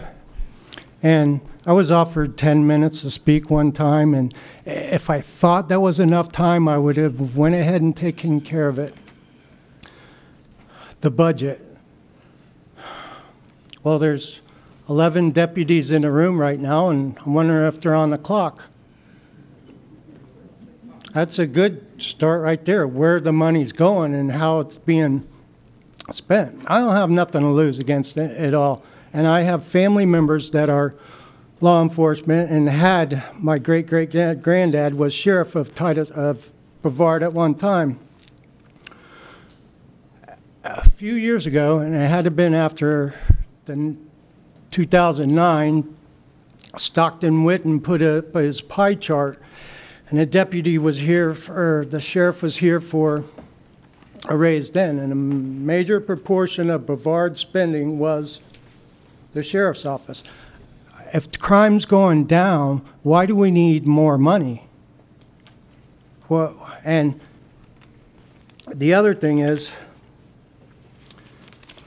thank you for I have no rights. They burn my house down, they shoot at me, they beat on me, they attack me every day, whether it's from anonymous phone calls or not. Tell me I'm not allowed to sit on the sidewalk and I can't do this and I can't do that. And not, not nobody in the past, let's see, from 2009, 10 years has spoke up against any of the wrongdoings. And with their uh, perspective, it, there will be no wrongdoing done. And I'll say that for another time. And I don't have any problem against the deputies or the sheriff, but it's the lack of not doing anything for me. My life, liberty, and no, it's all gone, and this is the best thing I can think of to do in my life besides pray to God and be true to Him as best I can. Well, they burnt down my house. Who did it? My neighbor did it. Destroyed everything I had, and then the mayor comes along and puts code enforcement on everything. So now I'm stacked past my lifetime and several lifetimes of, of sanctions and things, all because of why? I never put a no trespassing on the person taking my plants or none of it. No investigation, no nothing. I do have a problem, and as soon as I get the time and the voice, one way or the other, I will explain it all. And I do have witnesses, I do have proof physical proof. I have videos. It's just unbelievable. And no one's going to do anything. That makes these people just as bad as the rest of them because they all know the malfeasance and the things that go along, and it's okay. We're going to turn the other cheek. Uh, selective enforcement. Thank you.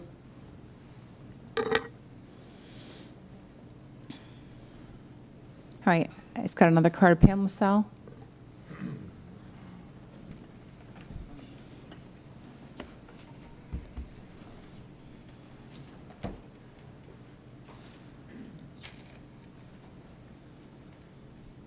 Hi, Pamela Sal Viera. I'll try not to repeat. So many people have made valid points already, but there's a couple of, is, uh, can you hear me? It doesn't sound right to me. It's on. Okay. Okay. Um, anyway, um, a point that wasn't really um, hit home that much are the SROs in the schools come out of the school budget.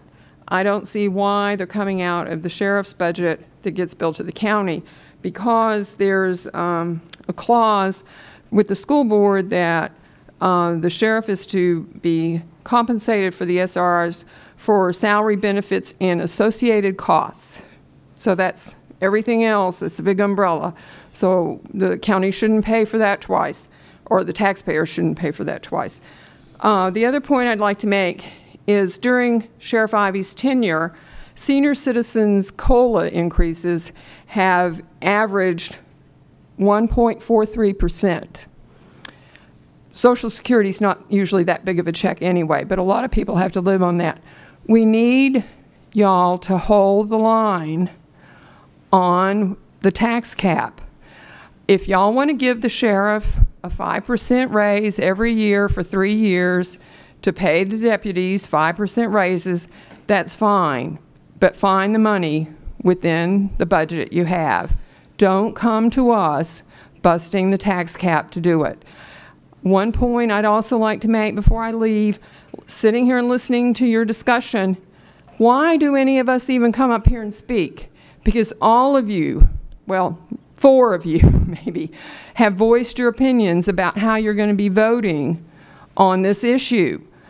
Um, I, you know, it, it would be a step towards civility and respect if you would at least pretend to value what we have to say. Thank you.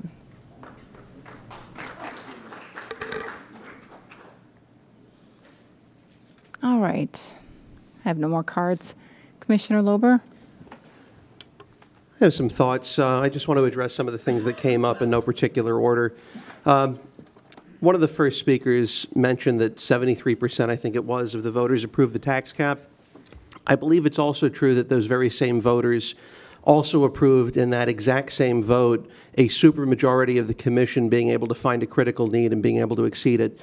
Um, so there's nothing remotely unlawful or not in keeping of what the voters intended. They certainly had that text on the actual vote that they went ahead and approved. So we're not overturning a tax cap. We're operating within the framework that was approved by 73% of the voters. Uh, Ms. Schumer mentioned that CRAs are, are, an area where we can cut. I agree. Um, I'll just put this out there for the, the second meeting in a row. If someone wants to put Palm Bay's CRA on the chopping block, uh, I can tell you where I'm going to be with that. They're going to get nuked. Uh, there are a couple other CRAs where I may put them on the chopping block, one of which I believe is progressing with Mr. Abbate on the discussions regarding an interlocal, but if they don't pan out, uh, I'll be putting one or two up myself. Uh, as far as grants to businesses that were mentioned, I will tell you that MIRA in particular has done some things that I am very uh, displeased with with respect to giving business grants, and I'm in the process of determining whether or not they're going to do what needs to be done to clean that process up. And if they don't, they I believe they've actually read a uh, proposal. I think I sent it to them, basically saying this is what I'll be doing to go over your head to ensure that we do what we need to so that we're not essentially giving away money with no ROI. I support them, but I support them in a way that generates an ROI. And what, what they did in the recent past, I've not been pleased with, uh, insofar as business grants are concerned. Uh, I want to focus on the fact as well that there's a reason we're not advertising a proposed tax increase because by the actual real legal definition, we're not increasing taxes. There's a reason that, that you would ordinarily have to advertise a tax increase and it's not happening here. I don't think there's anything wrong with the county government or any business reprioritizing where they spend the money so to focus on, so as to focus on those core obligations as, as Mr. White had mentioned. Uh, I will say, and I'm going to try to say it in the nicest possible way in the interest of civility, that uh, one speaker who, uh, who had mentioned that there was only one deputy position on BCSO's website, I went ahead and pulled it up while I was sitting here.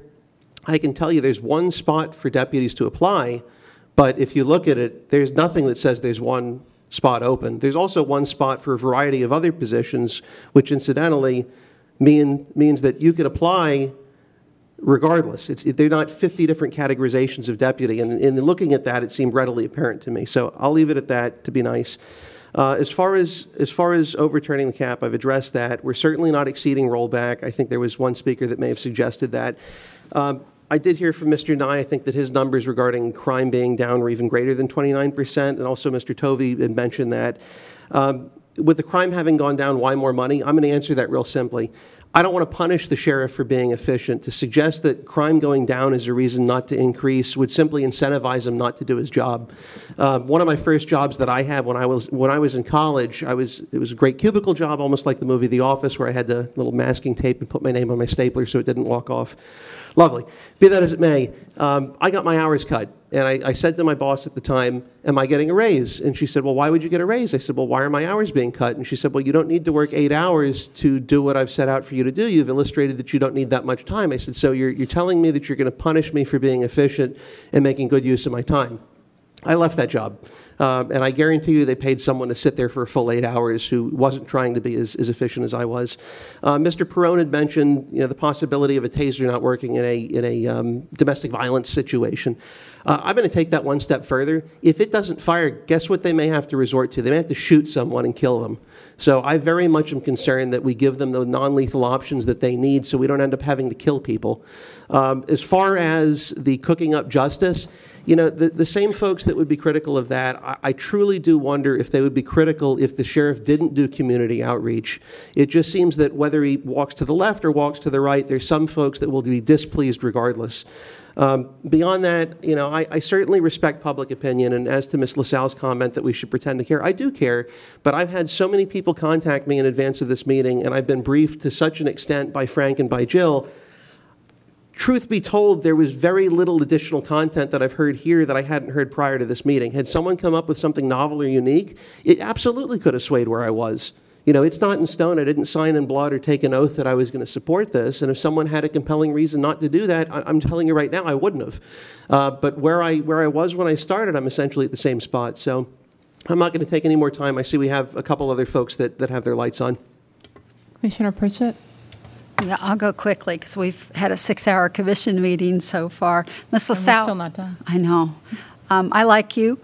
Um, the reason I throw that out early is so that people have a chance to change my mind. So that that's why I do that. But I do listen very intently to what you have to, you especially, to what you have to say, ma'am, and what, what everybody has to say as far as this couple of uh, thoughts. You got to understand. I, I don't believe anybody up here is is um, actually. I think they're all really tight. I've been with them for a while, and and everybody's been very tight on the budget in the past years.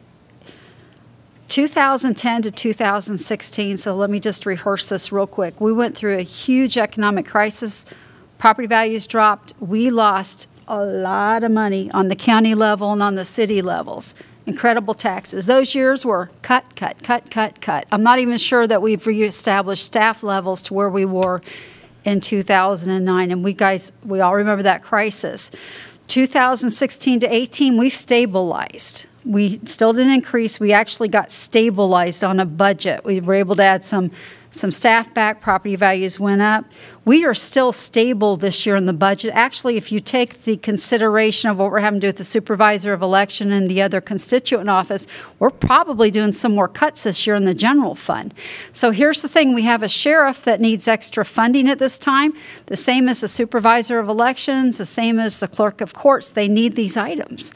The cool thing is, is we have an MSTU that we can apply it to the, there directly, and, and I, I understand it's over that amount, but please understand if you have a $100,000 home and you live here homestead, $2.50 a year. I mean, it's minimal compared to the service we're getting here. And he is he's pretty frugal with his items. And I don't know about the cooking show and all that. And from what I heard, he can't cook anyways.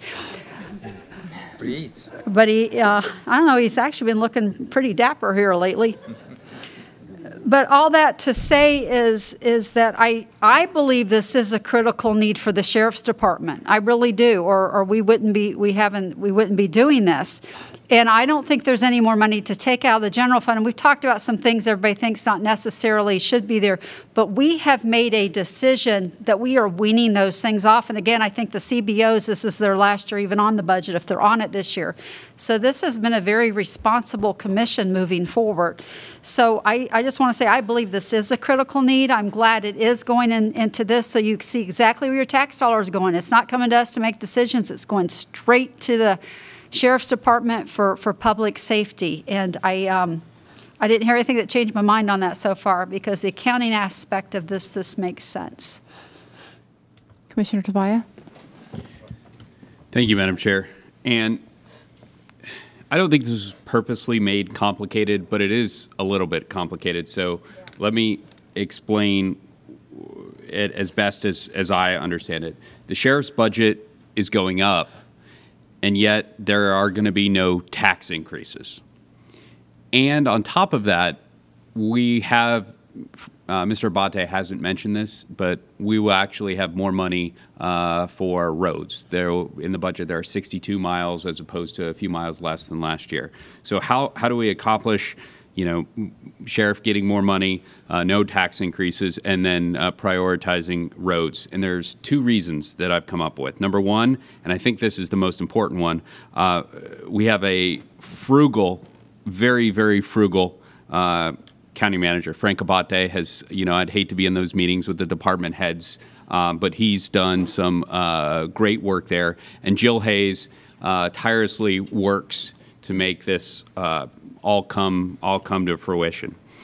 The second reason is this budget is larger than last year's. Um, even though the uh, millage rate is, is the same. Property values have gone up, so we're more than $10 million uh, of, of money that we had last year. On top of that, we have new construction.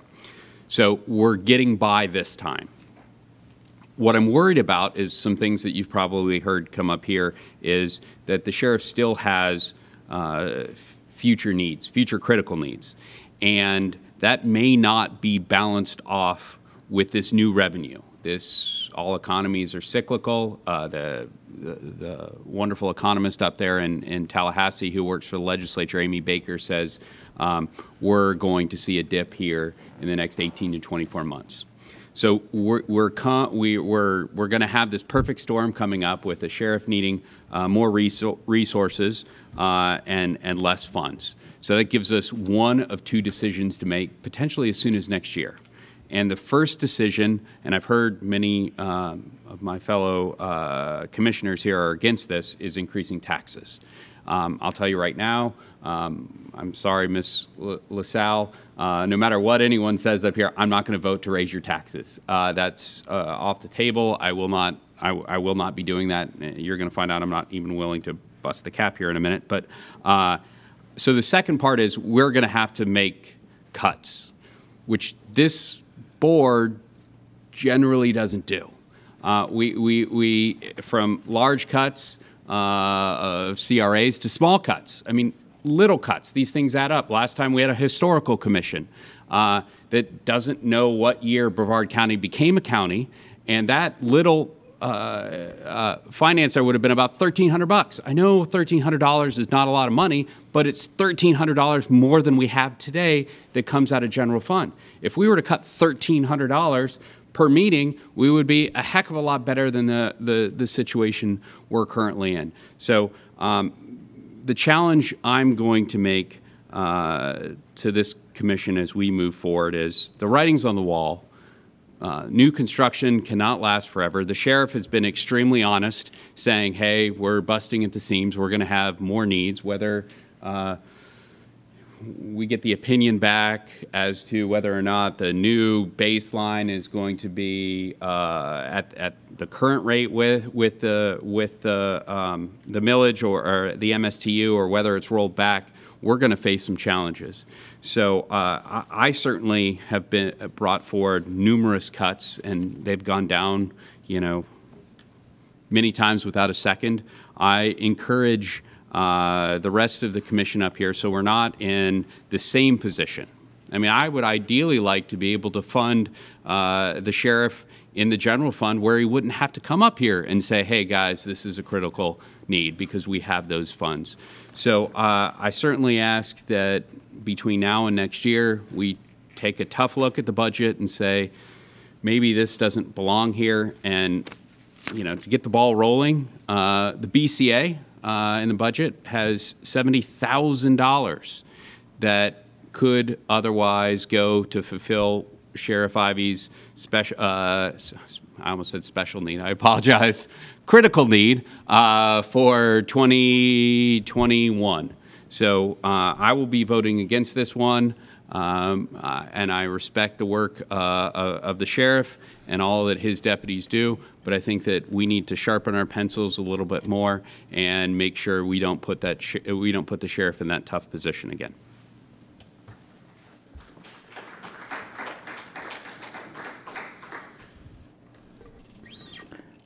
Okay, I'm just going to say, and I'll just make a couple of points. You know, I, I just, I find it interesting that oftentimes we don't have intelligent conversations. That very gets very political, and while you know, whether this be an ad valorem tax, whether this be a user fee on your property tax bill, whether this be a solid waste fee, for instance, that Commissioner Tobia has been okay with raising in the past to include the Melbourne Tillman user fee on our that sits on our property tax bill. Apparently, solid waste fees and Melbourne Tillman fees are okay to raise, but we can't raise fees for law enforcement. However, you know, unfortunately, this is something that we need because it's a service that protects our residents. Whether you agree with the sheriff having a cooking show and, and, and having a wheel of fugitive, and whether you think that that's right, it does return results. I would much rather uh, the sheriff spend 10 minutes on a on behind a video camera than send four deputies out trying to locate somebody who's who's a dangerous criminal or maybe a semi-dangerous criminal who's violated probation or who's harassing somebody that they've got a warrant out for their arrest. So I would much rather social media be used as a platform and people view our law enforcement sometimes as having fun cooking at a business, as somebody that's approachable as opposed to this very intimidating thing. We see videos of, of the once in a while um, law enforcement officer that doesn't do the right thing because those tend to go more viral than the fun ones of, of Sheriff Ivey playing around in his car chasing down old people and doing all kinds of, but it, it actually makes you look more human. So I can appreciate that. And those are the videos that don't get shared. And, but anyway, I, I'm kind of going off sideways here, but you know, I, again, I'm, I'm not, we can argue about who's more conservative. We can argue about I'm never going to vote to raise your taxes, but I'm okay with raising your fees and and and and raising your solid waste rates. So I just I think it's kind of disingenuous to say such a thing and and when you use things that when you when you quote it in the newspaper as saying that we're paying for lighthouses when knowing full well that the lighthouse that was pa- passed by the commission couldn't have been used out of our regular general fund. It's TDC money. It's not even the same thing. So I'm, I'm going to call it. All those in favor say aye. Aye. Aye. Any opposed? Nay. Motion passes 4-1. Yes. Um, Excuse me, I noticed a Scrivener's error in the resolution. May I have permission to correct that? Uh, It's a reference to a subparagraph B. Okay. Okay. Okay. Do we have a motion? Sorry. motion, okay. Second. Okay, motion by Commissioner Pritchett, second by Commissioner Lober, and that's with the permission to correct the scrivener's error? Yes. Okay, all those in favor say aye. Aye. Opposed? Are you voting, Commissioner Tobia? Aye. Okay. You're voting for it? For correction of the scrivener's error. Okay. Well, there wasn't a motion for the resolution. We forgot to make a motion. Yeah, so I could Wait, have, that, that was for the scrivener's error. That's what I no, understood. no, it wasn't, but there was no motion on the floor for the thing. I don't think that- so- yeah. So I could have actually made you vote for it. Just accidentally voted Yeah. for it. I thought there was a motion. I apologize. What did I vote nay on? Are we in a good spot where we've, we've approved the resolution?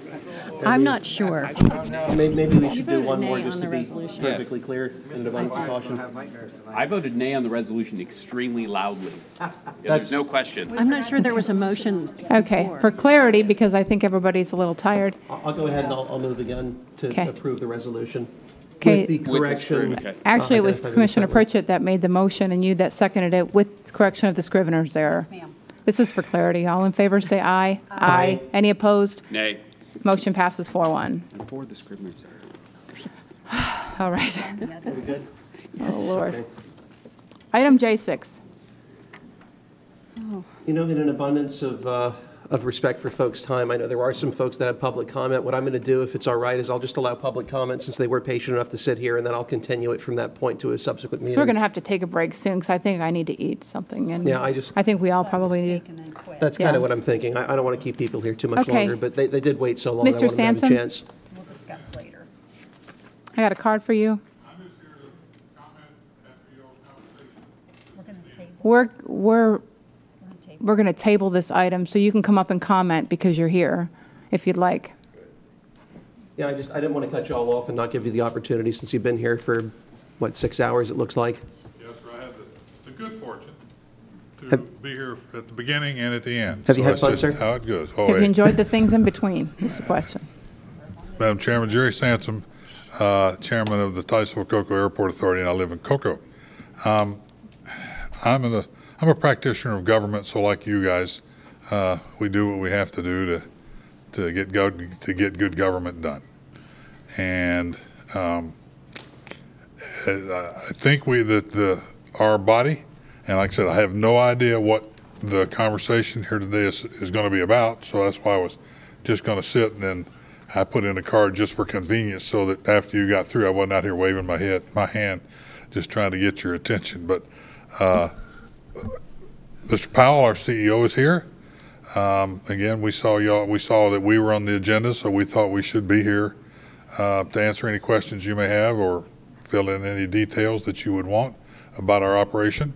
Uh, I was glad to note that for the 13th consecutive year, we are not in your budget as an ad valorem item to compete with, with uh, libraries and dog pounds and all of those kinds of things. We try to run, on, our- run ourselves very self-sufficient. Um, And with that, and the item that I saw you have is, we do have one at-large position coming up in August. Um, I would hope that you would reappoint Dr. Dave Hosley. He's a very valuable asset to us. He's been a very good board member. Uh, he's here today in case you've got any questions. Uh, I think the three of y'all that vote on that item have had an opportunity to talk to Dr. Hosley, but again, he's a very valuable member of our board. Um, and if you've got any questions about our board, uh, I'll be glad to try to answer them today. Um, I can tell you if I'm in town, I'll be here when you do talk about the item. Um, and with that, Madam Chairman, I'll be glad to quit. Unless you, like I said, if you got any technical question about how we operate or what we're doing, any decisions we made or whatever, I'll try to answer them as chairman, or if it's more technical than that, uh, our CEO, uh, Mr. Powell is here to handle those. We didn't want you guys operating in a vacuum or lack of information about what we do and how we do it. And Thank we you. do try very hard to stay off of your radar uh, as a good government entity, and uh, we do the best we can. Thank you, Madam Chair. Thank you. Thank you, sir.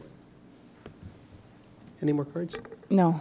Okay, I'd move to, to continue this and have it tabled until the next meeting, next regular meeting. Second. Motion by Commissioner Lober to table to, To table this particular When? item to the, uh, what's our next regular meeting? August 6th? To August 6th. August 6th. A second by Commissioner Pritchett. All those in favor say aye. Aye. Any opposed? Motion passes unanimously.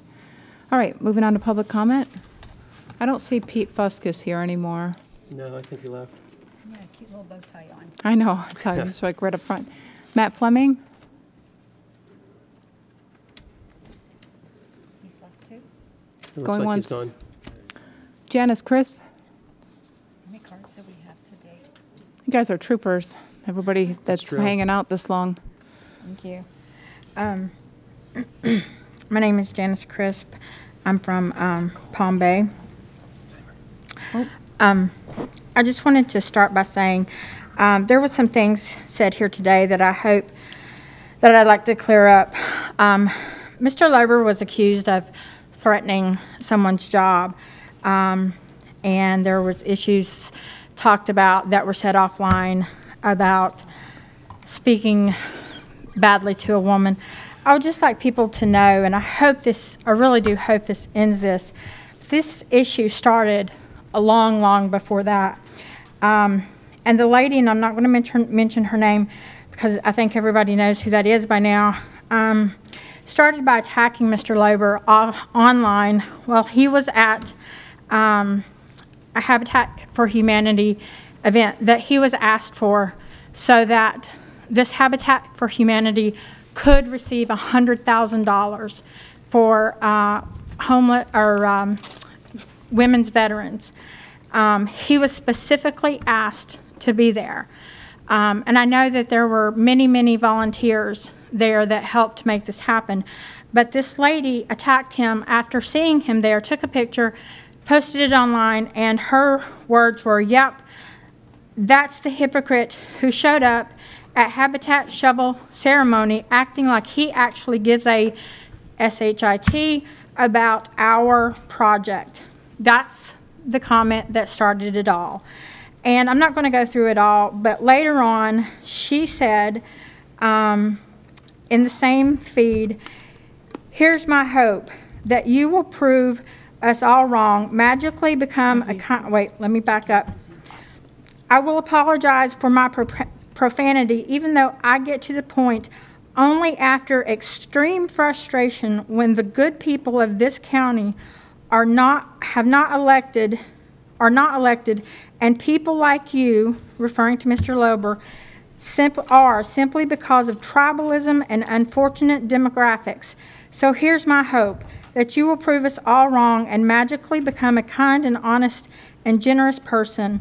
I'm going to try now to be kind to you going forward, but please know that again, it's because of people like Mel, Jake, and Alex, but idle threats to my employer that I do so. Peace out. So then she brought it to the council here.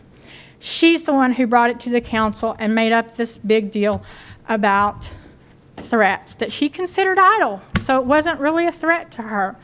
But she's the one who said it's tribalism and that it was Mr. Lober's election that she was frustrated. So that's why we've, we've had to deal with this for months and months and months. So I wanted the record to be clear. Thank you very much. You can talk when everybody's done.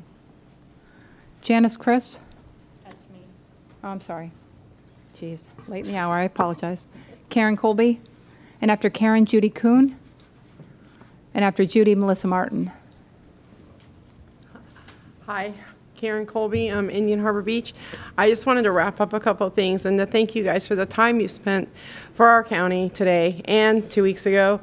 That's a good 11 hours and we've been here with you. We appreciate every one of you, even though, I mean, we might have all had a disagreement at the beginning, but I think that the county has come together better. I haven't heard any profanity coming from the audience. There was no organized coughing. This has been a nice experience compared to last time. I've never felt scared to come here. I never had a voice until I started when I, when I was became a mom. Then I felt like I could talk about anything. You didn't hit the button. Oh. Um, sorry. I'm sorry. That wasn't on purpose. I'm a mom. So I wanted to, first of all, about the Mr. Lober thing. Um, I was involved with the posts.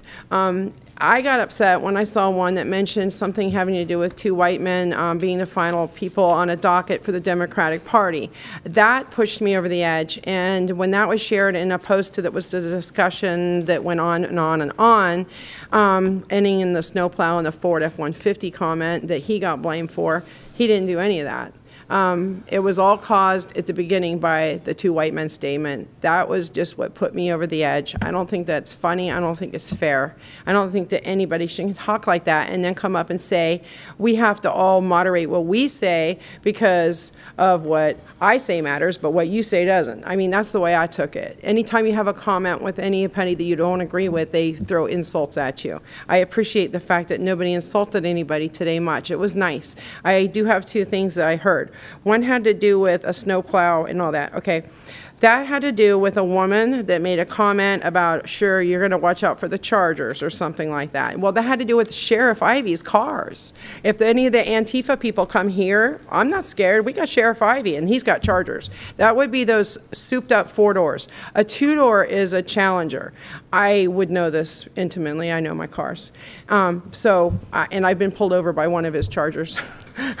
and I didn't get a ticket, I got a warning. Um, so that's why the charges were mentioned. And then when I, I'm the one that said, if you miss that, miss one with the snowplow, back up and do it again. That was splashing, splashing. I'm a mom of six. I will lob a water balloon at anybody, I will splash anybody. No harm, no foul. And when I saw that the trouble was coming and that there was, I'm going to say, not very intelligent people making nasty comments, I pulled my post, that pulled his. He didn't pull that post to hide, I pulled it.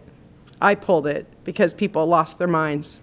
Okay, I just wanted to make that clear that Mr. Lober never pulled any post to hide. I did it. By moving me, I moved him. Okay? Thank y'all, and thanks for everything. Thank you. Bye. Judy Kuhn? Yes, thank you, Commission. Um, my name is Judy Coons. I live in Cocoa Beach.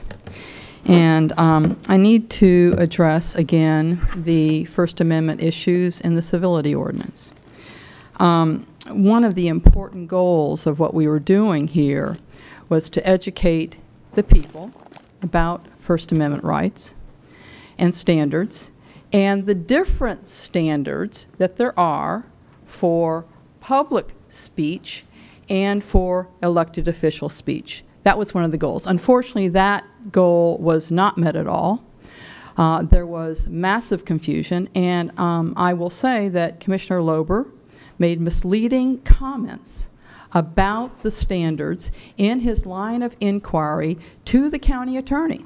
He cited cases that did not deal with elected official speech. He cited cases that dealt with public members of the public wearing um, uh, jackets with profane statements on them and those sorts of things. He, uh, unfortunately, the public has come away with this thinking that we all have the same public uh, First Amendment right. It is not true. You all, please, are held to a higher standard. And, you, web, and there is a link between the speech that you make here on the dais, in social media, and the uptick in violence that is happening across the United States. So please, um, people are afraid to come before you. They're afraid for their jobs. They're afraid for their reputations. They're afraid for, to be humiliated. And to recognize that your standards, you are held to a much greater standard, and that the trust of the public rests on you. You are models. Okay? We come up here, and I think everyone has pretty well behaved themselves today, except for Commissioner Lober and some of his, his statements. But please do not, if this were, if you had come into a court of law making those sorts of statements, you would have been censured. You, the judge would never have allowed um, uh, Ninth Circuit cases that dealt with private speech to be used in an elected official's situation. So I really object to that and hope that, that this differential standard is completely understood by both members of the, of the County Commission as well as members of the public. There is no equivalence here. Thank you very much. Melissa Martin?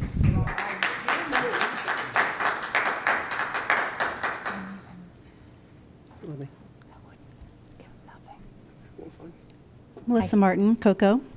Thank you um, on behalf of everyone involved with this beautiful process of figuring out who we are and what we're about.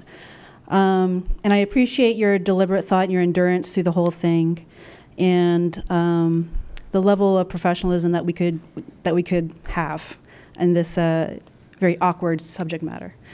Um, not, I'll dovetail off of Ms. Kuhn's uh, comments because that is the crux of this issue. I think there is a continuing confusion, point of confusion regarding what the law actually says.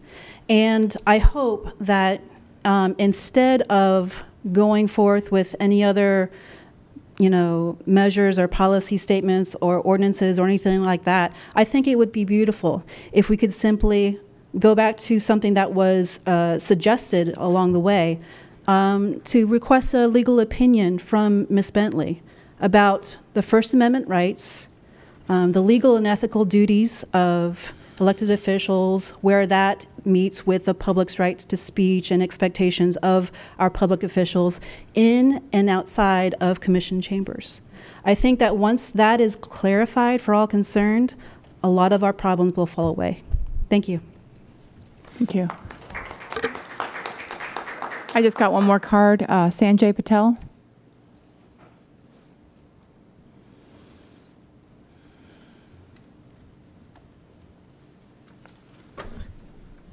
Sanjay Patel from Satellite Beach.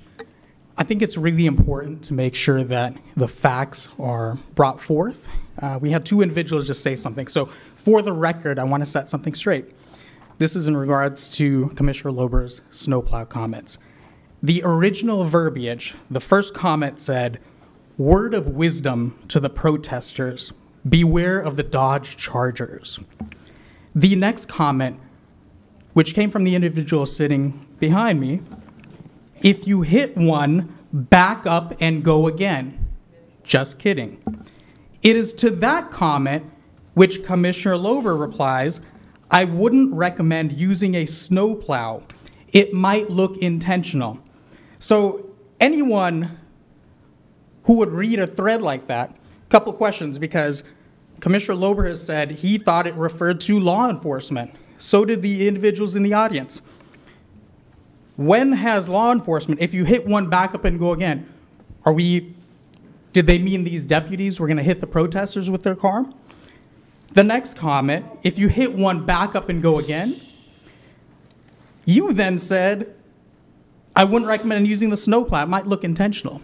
Commissioner Lober, what might look intentional? Hitting someone with a snowplow? To everyone in this room, it's extremely, it's extremely clear what we're talking about, and we are not going to stand by while folks try to back themselves out of it. It's just completely deceitful and dishonest. Own your comments. What you said is very clear. So I just wanted to make that clear for the record. Thank you. Okay. Commissioner Lober, I'm going to let you speak, but I'm just going to caution you, just as a colleague. I've been chomping at the bit. Well, just realize what's, what's productive dialogue, but. I understand, Again, I- I'm not going to tell you you can't say what you want to say, but I'm just going to, Nor would I ever to any of the folks sitting here, or even the folks there. Caution. So I, I kind of want to go through here. Mm-hmm. Right. It, it is, but unfortunately, well, if you need to go, Mr. Smith, then you need to go. We have an executive But I- executive I think that too. everyone has an entitlement to respond to folks that are making false allegations, unless you don't agree with that. I'm sure you're not going to say anything we haven't heard from you before. I don't Yeah, know. You, you, we know what you're going to say. I mean, what- what you're going gonna to you're going to Smith? disavow what they say. You're going to say what you mean and meant, and what they said doesn't mean what you meant, and so No. we're we're in the same place that we were before. Not necessarily. Okay. You think it's going to be productive? That what you're going to say is going to be productive, or it's just going to make you feel better? I would certainly afford you the same opportunity to say something in response if something was said incorrectly about you, and I wouldn't criticize you Well, for and I trying to would do it. I would expect you to, because I haven't taken up hours and hours and hours of your time with those kind of comments. So I would hope that you Well, would you give me one, to the one, oppor- been. one opportunity to say something. But I just don't agree that you should take time out from our day because you have a personal problem with what you said and how you said it and how it's been. I don't have a personal problem with anything I've said. I have a personal problem with folks saying something that's defamatory or untrue. Okay. Okay. No, you can't speak from the audience. No, the public comments are closed.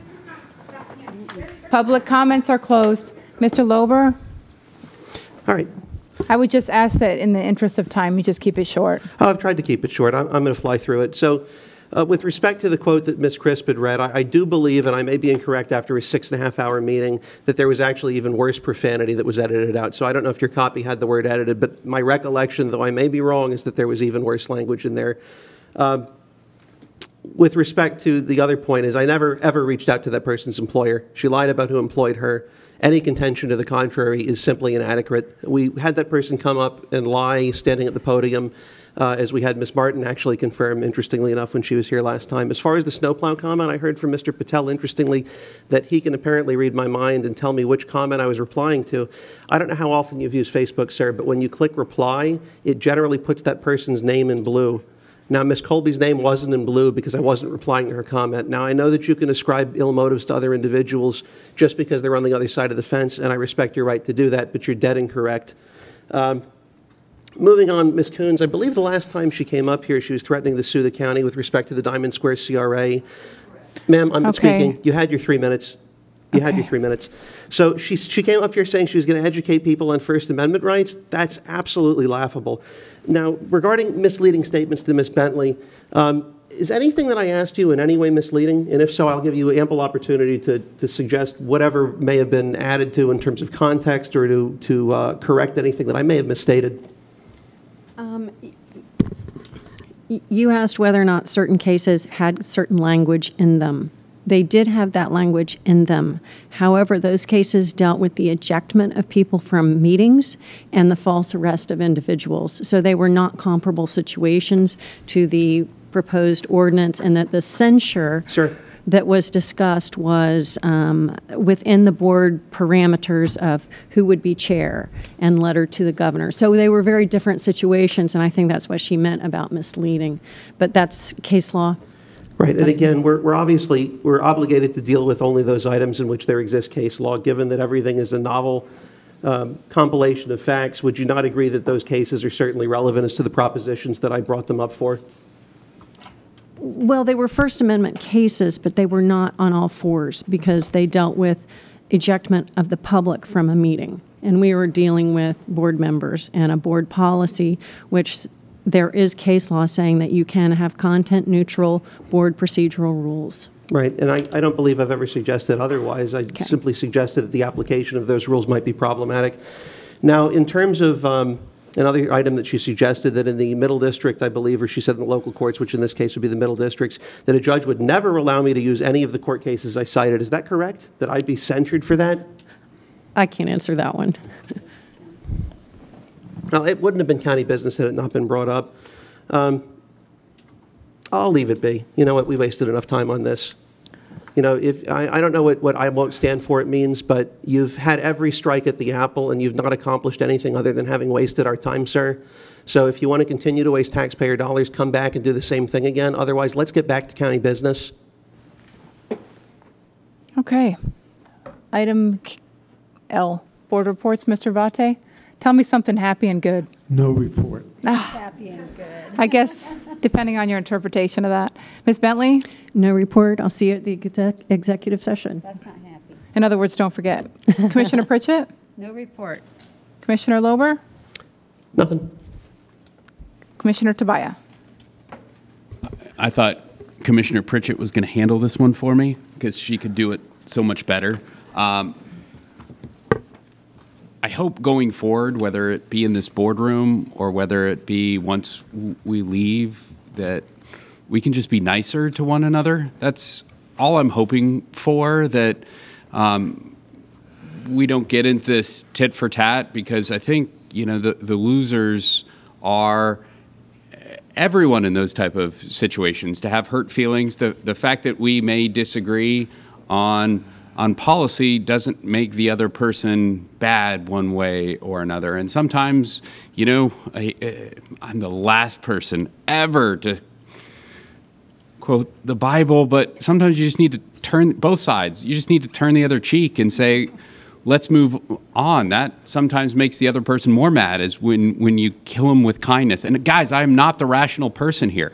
I, I It's quite an admission. it, it is. I don't think any of this uh, is a waste of time. I think it's good to talk talk through these things. I hope that we move forward, and I, hope we can put this behind us so uh, we can deal with so many other things. Just for a second, for a second, think about the fact that we spent, and this is partially my fault because I brought it forward. So I'll take, you know, we, we spent what three hours on civility and three minutes on 1.31 billion dollars. I mean, just put that in perspective here. It's it's a little disconcerting, and I'm not assessing blame anywhere. That's not here nor there. Just everyone, please, you know, for us on the board, that you know, as well as and the audience, you know, just try to be kind to one another. I guess is all I'm saying. Thank you. That's a good message I did not expect to come from you, but thank should you for that. Commissioner Smith? Do you have any report?